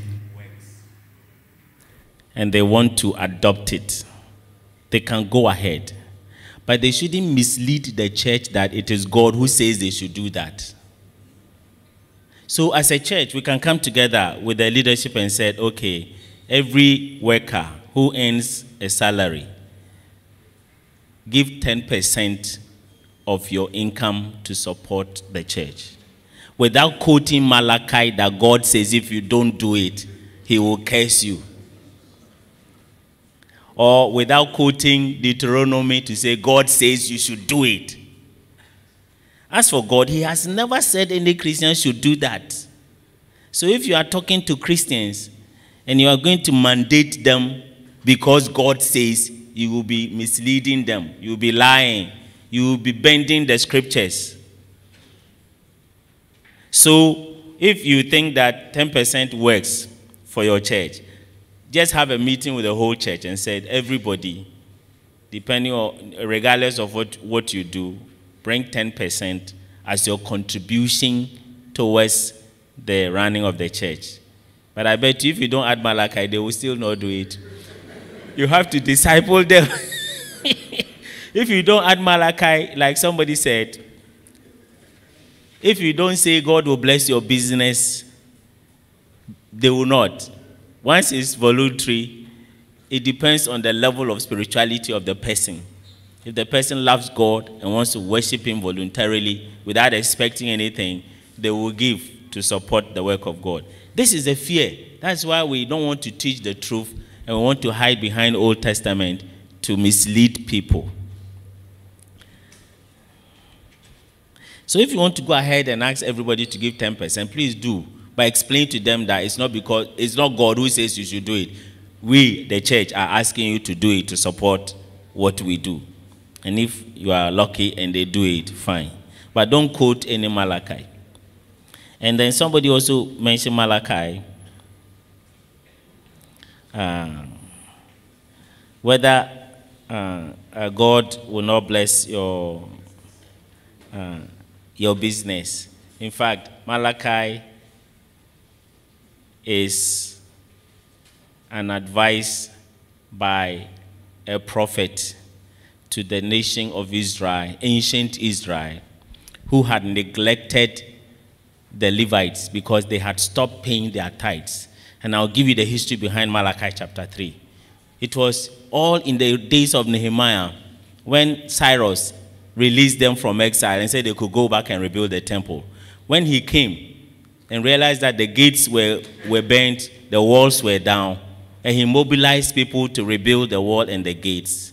One thing he realized was that the Levites were all not where they were supposed to be, so the worship of God was not also going on. So, and he realized that the storehouse for keeping the tithes, somebody had rented it to Tobias, an enemy of Israel.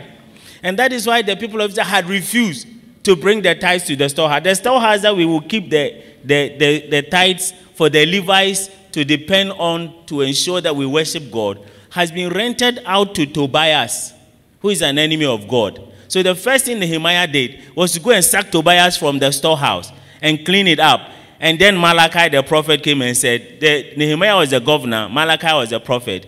Now bring, now Tobias is gone. The storehouse is empty. Now bring your tithes. And when they did, the Levites came back. And then the worship of God resumed. That was the reformation of worship in the days of Nehemiah. This has nothing to do with Christianity in the 21st century. So stop quoting Malachi, Malachi, Malachi, Malachi to, to, to confuse people and to put fear in them. That if you don't, God will destroy your business.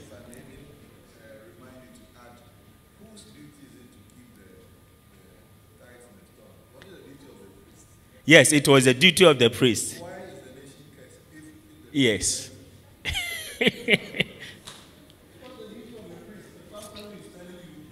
yes. But I'm telling you, if pastors really believed that tithing brings blessings, they don't. We don't. We are also a pastor, we don't. If we did, we will not spend 40, 45 minutes um, imploring people to bring it. We would rather take the little we have and also go and sow it. If we did really believe that 10% brings certain blessings, why are, we, why are we worrying the people? At least you have something. Go and also give 10% and always be receiving. We don't believe it. That's why we are asking you to bring it to us. then the testimonies. I have heard testimonies and testimonies and testimonies and testimonies about people who pay tithes. There was this woman preacher I, I watched on TV at a conference in the UK. She's a Nigerian preacher who is at a conference in the UK. And she's giving testimony about tithes. How tithes is miraculous money you shouldn't touch. Say there was a woman in her church who went to the grocery store to buy groceries. And when she finished collecting what she needed and got to the the what how do you call it the counter to pay she realized that she collected more than she had money for but she had put the tithes as, far, as soon as she collected her money she put the tithes in a white envelope but it was in her bag so she had to pray quietly god i beg you let me borrow from your money and uh, and, and, and pay the groceries. When I get home, I will quickly put it back. This woman, according to the preacher, searched for this envelope throughout. Uh, she t- overturned the bag, never found the, the envelope. Yes, no. When she went home, as soon as she opened the bag, it was lying on top of the thing. Then I said, This woman is lying. then she said, In Nigeria, too, there, there was robbery in, a, in, a, in an apartment building, and robbers were coming, and the woman remembered that she had her tithe card. So she slipped the tithe card under her door, and the robbers jumped over her apartment and went to the others. And then she said there was another one. There was fire in the market, and the fire was burning shops. And this woman remembered that, ah, my tithe card is here. And then she also put it at the junction between her shop and another. The fire burnt to that place and stopped. I say, all these are lies.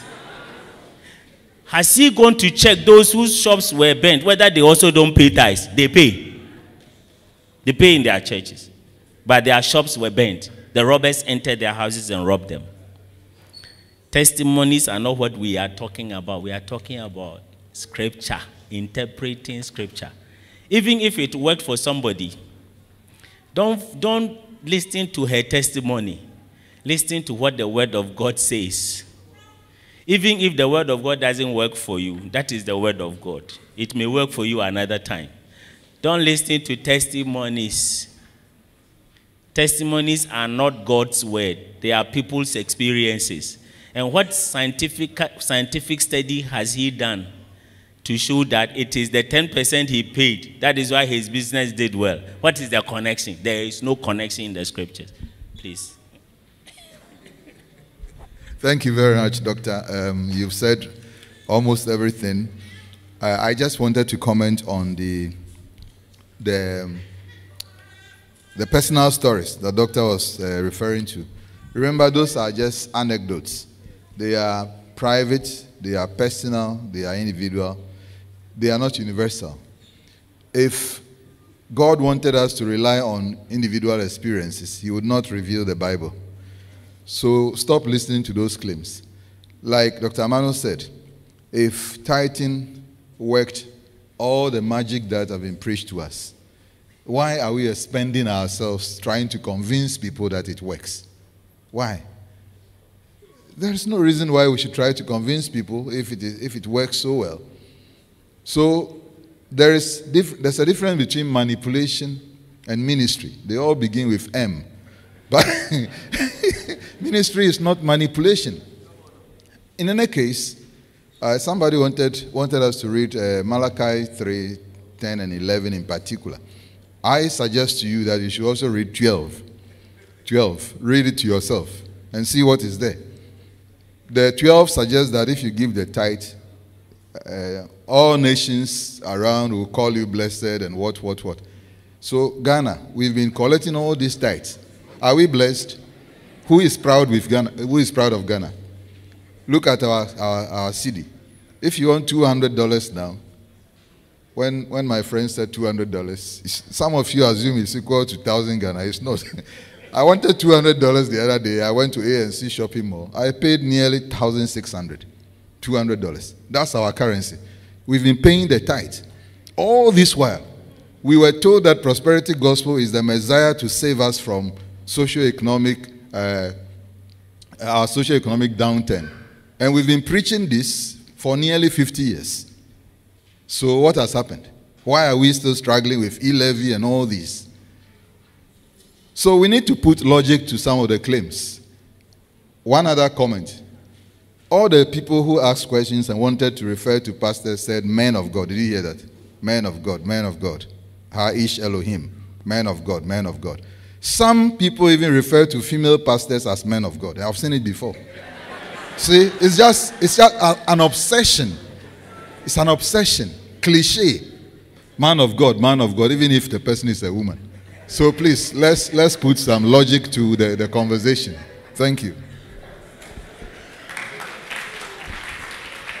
Thank you very much.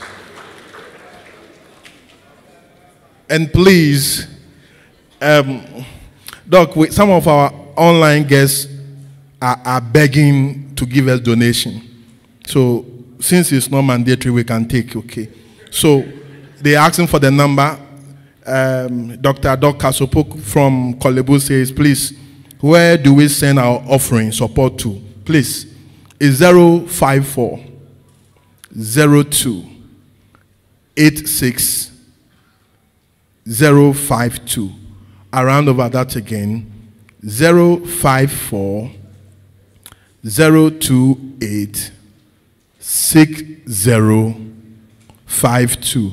Please, the media room, I don't know whether you there's a way of putting this number online because it keeps coming where they are to pay to. This one too.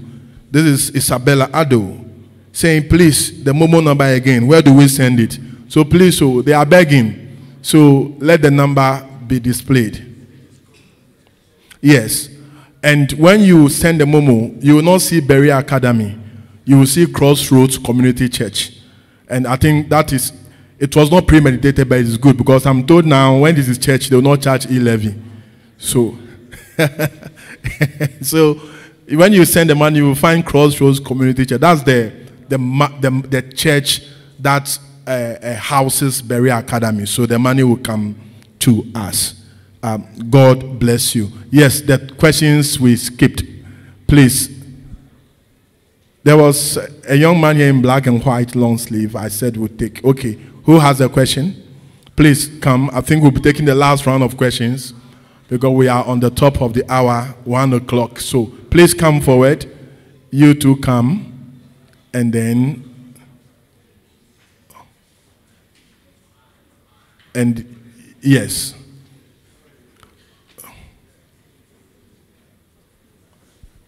Let's be quick about it so we can get it done. Thank you very much.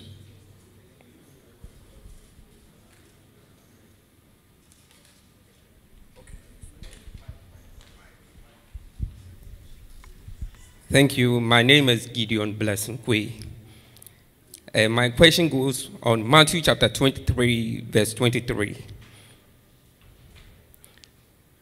Jesus said, Woe unto you, scribes and Pharisees, hypocrites, for ye pay tithes of mint and anise and cumin, and have omitted the weightier matters of the law, judgment, mercy, and faith. This ought ye to have done, and have not leave the other undone. My question is I want to find out if Jesus is for or against tithe.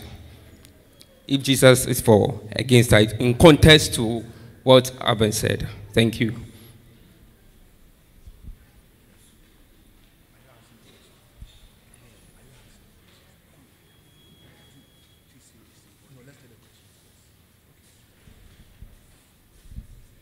Thank you, uh, Mr. Chairman, thank you, Pastor, for the for the good uh, lecture.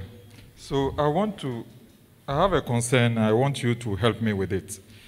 I want to read um, Matthew chapter six, from verse one to verse three. It says, "Be careful not to practice your righteousness in front of others, to be seen by them."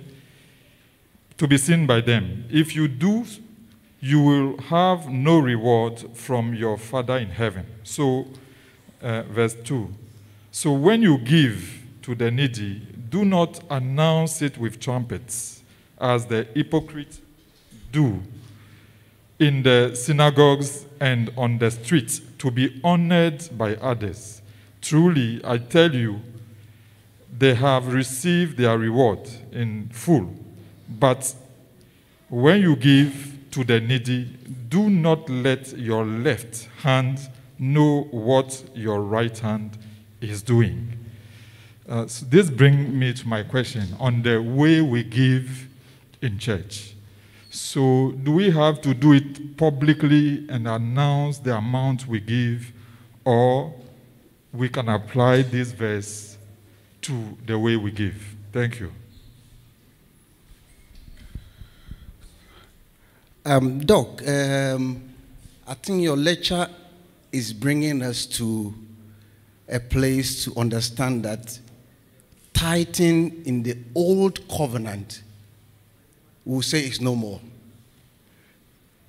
Or has been abrogated. Because like the scripture says in hebrews if the law was without effect there was no need to have been a new one.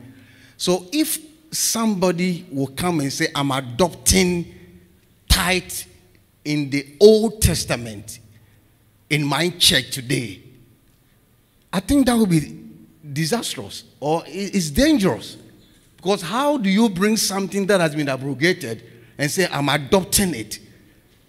How does that work?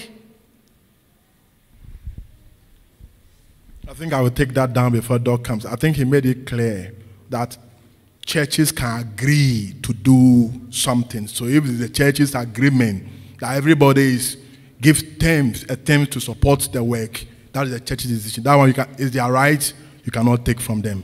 So let's take the answers to the rest of the question. But Doc, I will read two more online.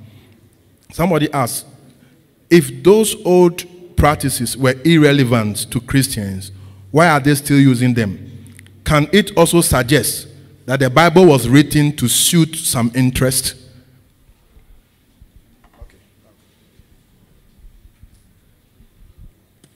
Oh, uh, as Dr. Myles Munroe said, there's a purpose to everything.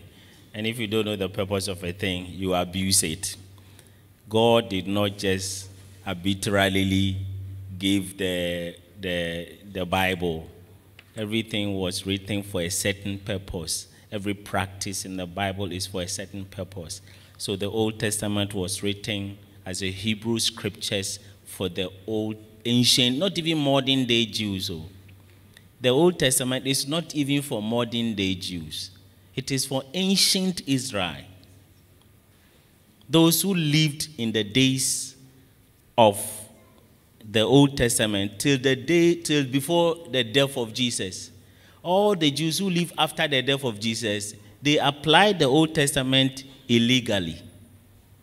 They are using it only politically to, to abuse the Palestinians and take their land.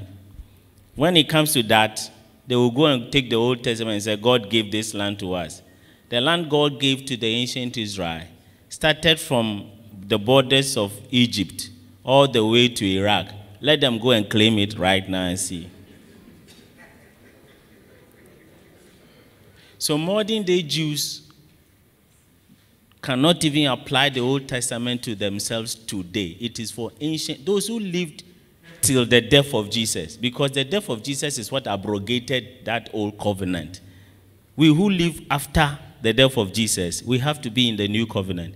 And the new covenant has nothing to do with any piece of land.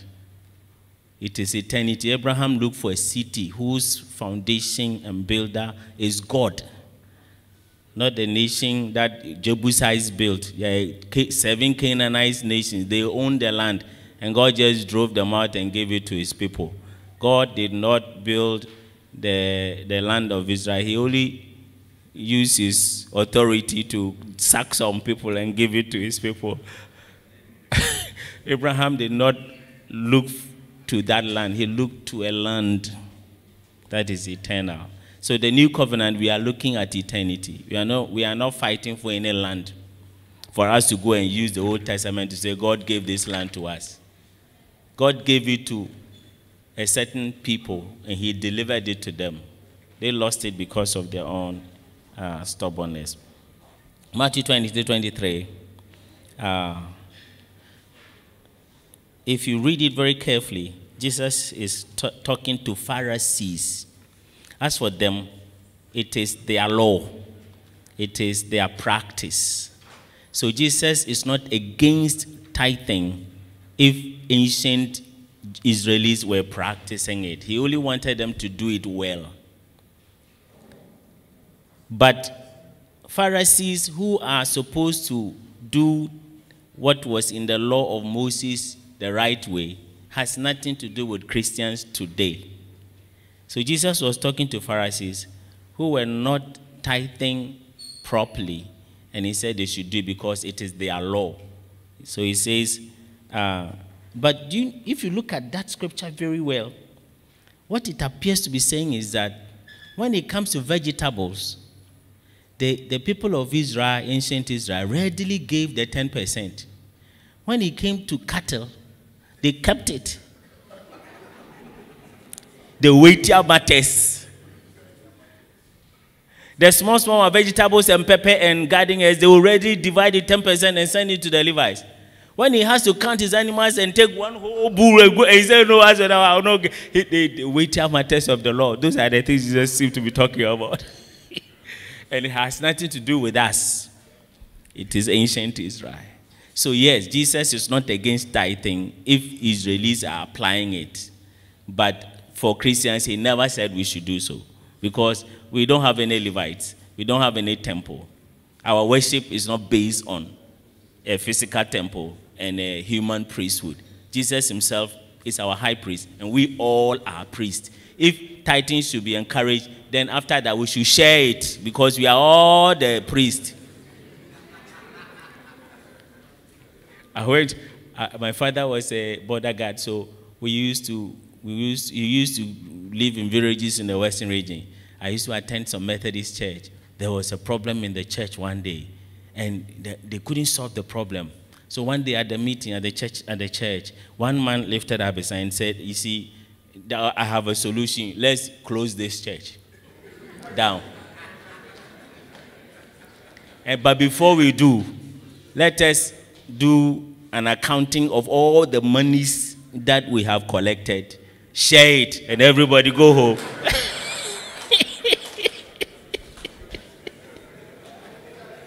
so if tithing is to be encouraged in the New Testament church, we are all the priests. After every Sunday, we should count and share it, and everybody take your share and go. but I know some churches, uh, it is not even counted though. It is collected and sent to the pastor's house because he is the Levite. so I tell my church people, me, I am an Osunani. I am Osunani. I am not a Levite. If you bring me your tithes, me, I'll chop it, but you won't get a blessing because, I am not a Levite.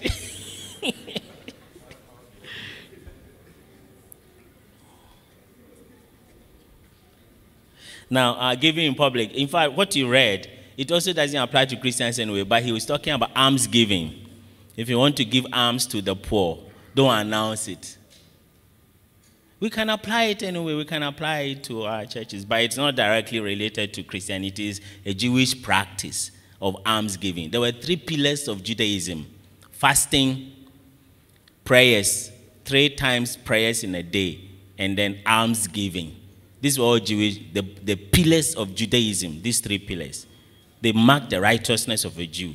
So if you are going to give alms to the poor, don't go to Peace FM and announce, I am going to the roadside or I am going to give alms to the beggars over there. No, that's what Jesus is saying. But of course, we should apply it, or we can apply it by not making too much noise about how much people give. Sometimes, like we did, if you brought a thousand, you say, thousand people stand here. 500 people stand here. 10 people, 10 cedis for stand here. Then we ask for the chief prophet to pray for the thousand people.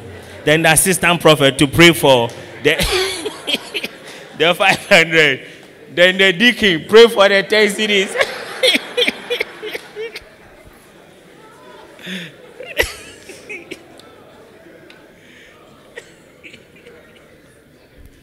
All right, thank you very much. I think uh, that was a good response. Let's let's put our hands together for Doc for such. So, do we have any in-house question again? Exhausted. No, there's no one. There is a hand up. No, you have been here already. So, please, I, I said don't start moving until I call you. You have moved. So please just remain there. Okay, you two, be on your, you, yes, yes, yes. So those, those will be the last two in-house questions. But Doc, some of the online guests seem to be at the crossroads. They ask two questions I want you to attend to. So thank you, Doc. So in churches where tithes are mandatory, how do we, now, how do we enlighten members not to pay the tithe but give out of their free will. Again, in some churches where tithing is recorded and is strongly associated with membership, what should members do in the light of this lecture? This is, this is actually very difficult because if you belong to a church where they believe in that and they insist on that, it's difficult. If you, you, it's difficult to violate your pastor uh, when he says that, well, especially when it is recorded. I am told that in some of the churches, if you're a minister and they check your records and you don't pay your tithes, you'll be demoted. Or if you don't change, you will be defrocked.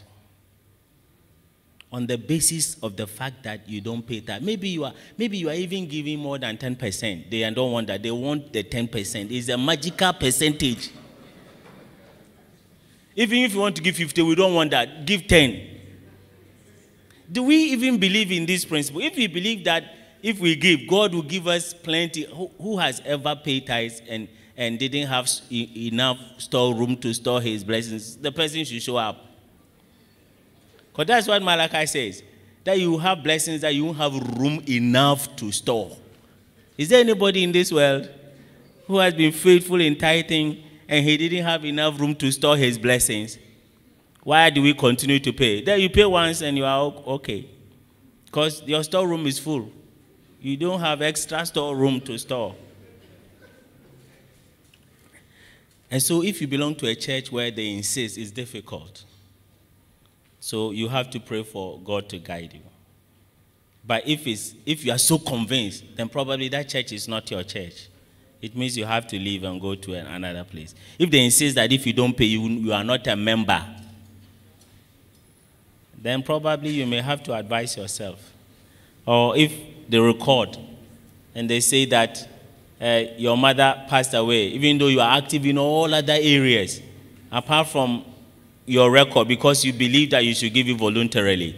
Maybe you are even giving 20%, sometimes 50, sometimes whatever. But they don't, they don't want, they want to record the 10%. And you insist that you will not do it. And because of that, they are denying you services in the church. Probably that church is not your church. I don't know. Uh, I, I, you have to let God guide you. This is difficult, especially if you're an assistant pastor and you have come to hear this and you are convinced, and you go and your senior pastor requires your record. What are you going to do? So maybe you can, you can give your 10% to satisfy the church's uh, requirement. But in you, you know that you are not obeying any law of Moses. You know you are giving to support God's work. Maybe that is one way you can go around it. Otherwise, if you are in an environment where they believe in it so much, and you alone, you want to be a rebel, it's difficult. So come to our church. We, we are free. We don't collect. You are free. Come.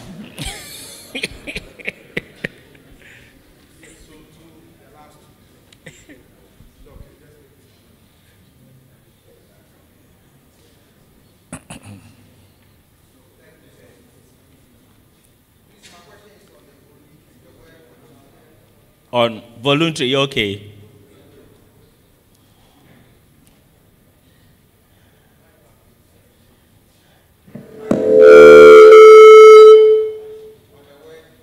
Voluntary, yes. Is about the point to that is voluntary or is about the giving a self so that giving if one has he will decide not to give because it is voluntary. Actually, actually, it's both. The decision to give is voluntary, and how much to give is also voluntary. The percentage to give is also voluntary. But like I'm saying, a true disciple of Jesus will not want anybody to compel him to give to support the work of God. In fact, he will rather be looking out for opportunities if he is blessed with resources to give. And so, yes, it's voluntary.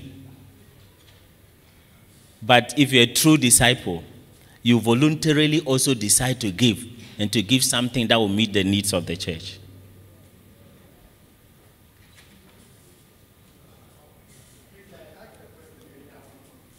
It was not answered. Okay, ask again. The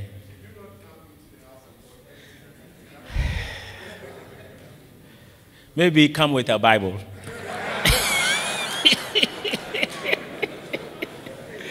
That is an Old Testament scripture. And what you should come with was sheep or goat. Not a, a wallet full of money, no. Come with goat. So if you want to apply it, everybody come with goat to church. Or sheep. Or bull. So that scripture doesn't apply to us. But at least if you want to apply it, come with your Bible.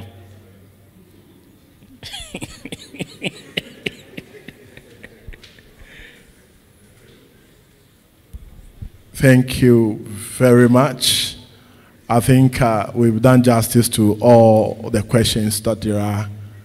I believe that the 10th edition of the Berea Public Lecture, as we said from the beginning, has been very interesting. We still want everybody to get a copy of the book, the book on today's topic. So I ask that the, the ushers go around with the book. You pick one, you give us a donation of 30 cedis and above. So I say and above, it means it's not mandatory. Uh, there is a it's voluntary. So um, can the ushers quickly move around whilst we do that? We will be inviting a dear brother to give us the vote of thanks. Um, we're skipping the chairman's remark because our, our, our friend, our, our guests have done enough today and we've heard enough to today. So the ushers are going around. Please get a copy, grab a copy, give us a donation of 30 cedis or more. You can buy one for a friend. You can buy it for a pastor friend or some. Just, just voluntarily get it and get it for them. So our catchword today is voluntary, isn't it?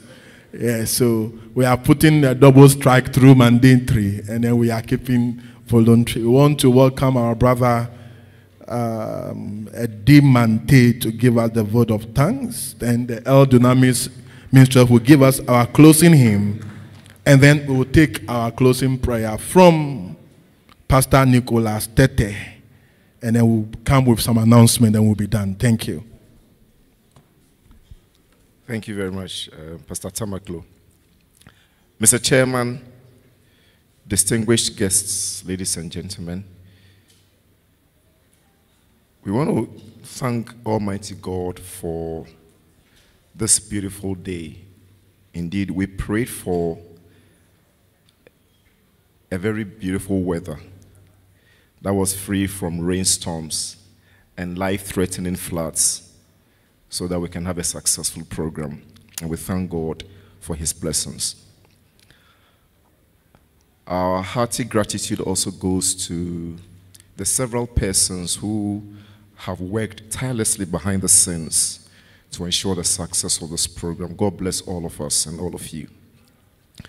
We also would want to thank the various sponsors who have helped us financially in and in other ways to make this program a success. Uh, God bless you. We are mindful of um, uh, Special Eyes and then um, the Despite group of companies, indeed, and then, of course, the other individuals who have you know, um, helped us financially. God bless you.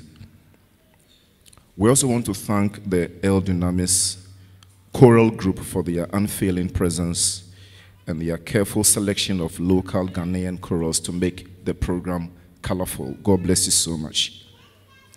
Our gratitude also goes to Auntie Ifia, the wife of our distinguished speaker, for her guidance in recruiting the right form of people to offer organizational, logistical, and administrative support toward the success of this program. God bless her indeed.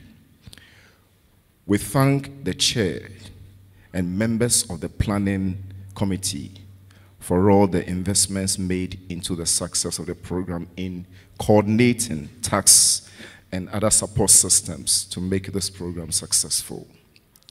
We are also grateful to God for the life and health of our speaker over the years, Dr. Amano, who has always I mean, delivered to delight to bless this august guest. God bless you, Dr. Amano. We also want to thank our affable MC, Pastor Tamaklo, for always delighting us with your great sense of humor. God bless you as well.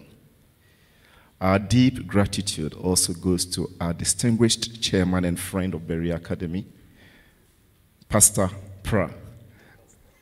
God bless you. Bishop Pra, God bless you so much.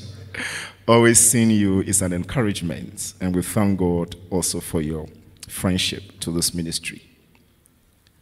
And now to you, our distinguished guests. Without you, we'll not be here. The smiles, the support, and the encouragement. God bless all of you, and Ayeku to all of you.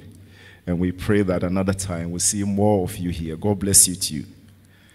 To all our special guests and members of my church, CRCC, God graciously bless you all also for your support behind the scenes. And now, to our God and Father, Father of our Lord Jesus Christ, who gave us this beautiful day and a successful lecture, we say glory and praise to him. Amen. Thank you very much. Yes, well, well, thank you for doing us the honors. Uh, there was one we left out. As we saw earlier, and we did announce, we had in attendance our former First Lady, Mrs. Matilda eh, Amissah-Arthur. Sorry, Second Lady, Mrs. Matilda eh, Amissah-Arthur, but she stepped out a while ago. She also gave us a donation, but she voluntarily wanted to remain anonymous, so we're keeping it that way. So, Auntie Tilly, we say God bless you. El Dunamis, take us home. Thank you very much.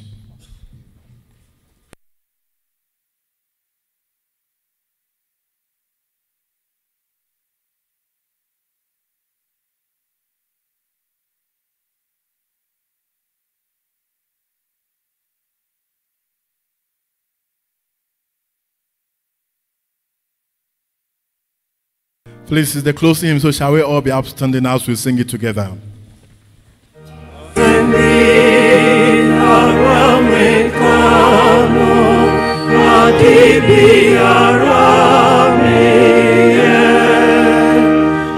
Yesu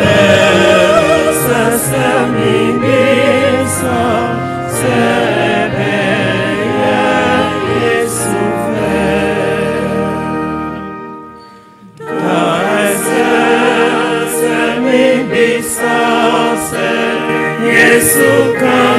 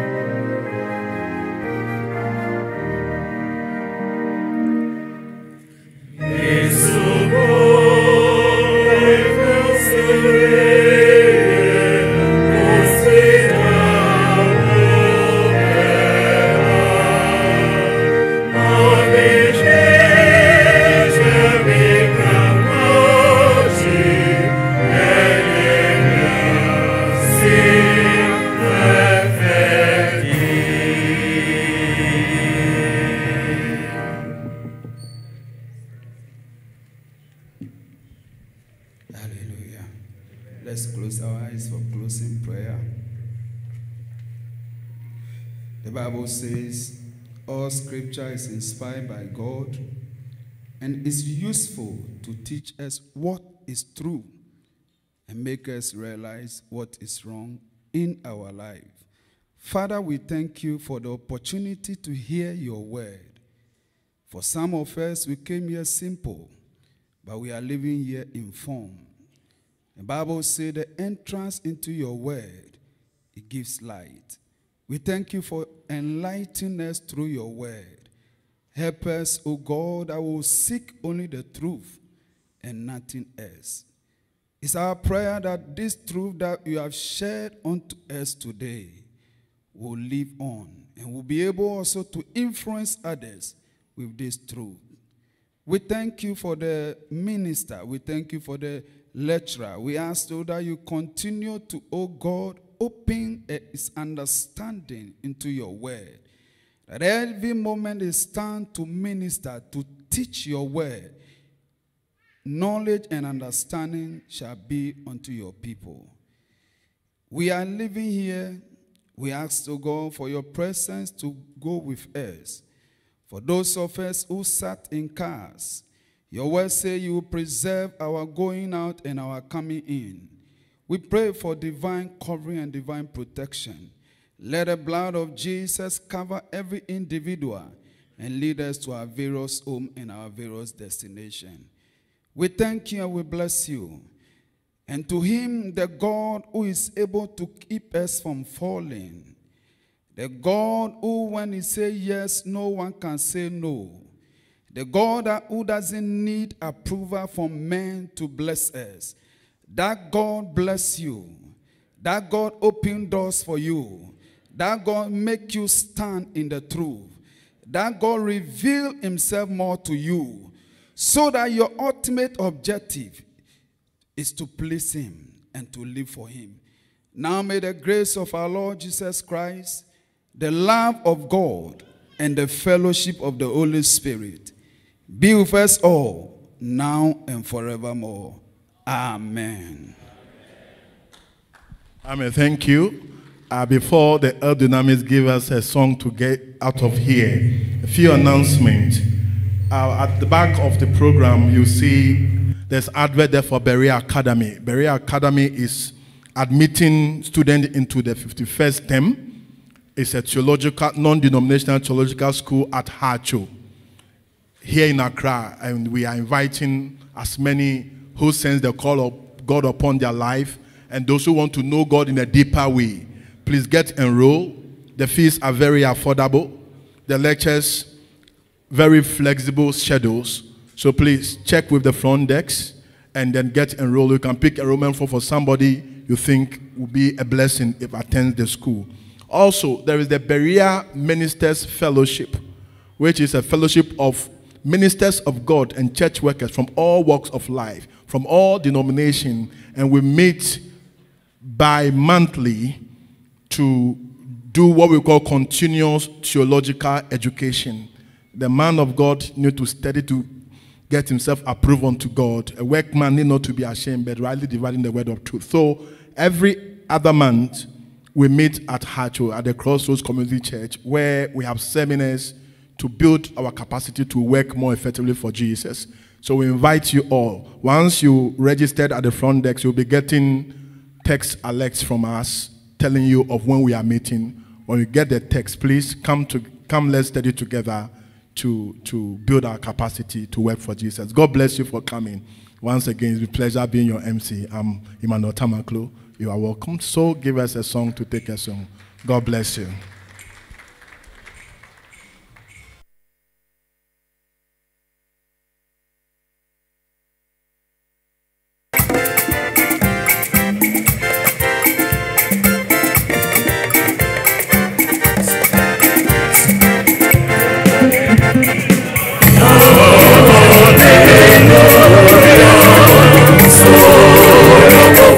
Oh,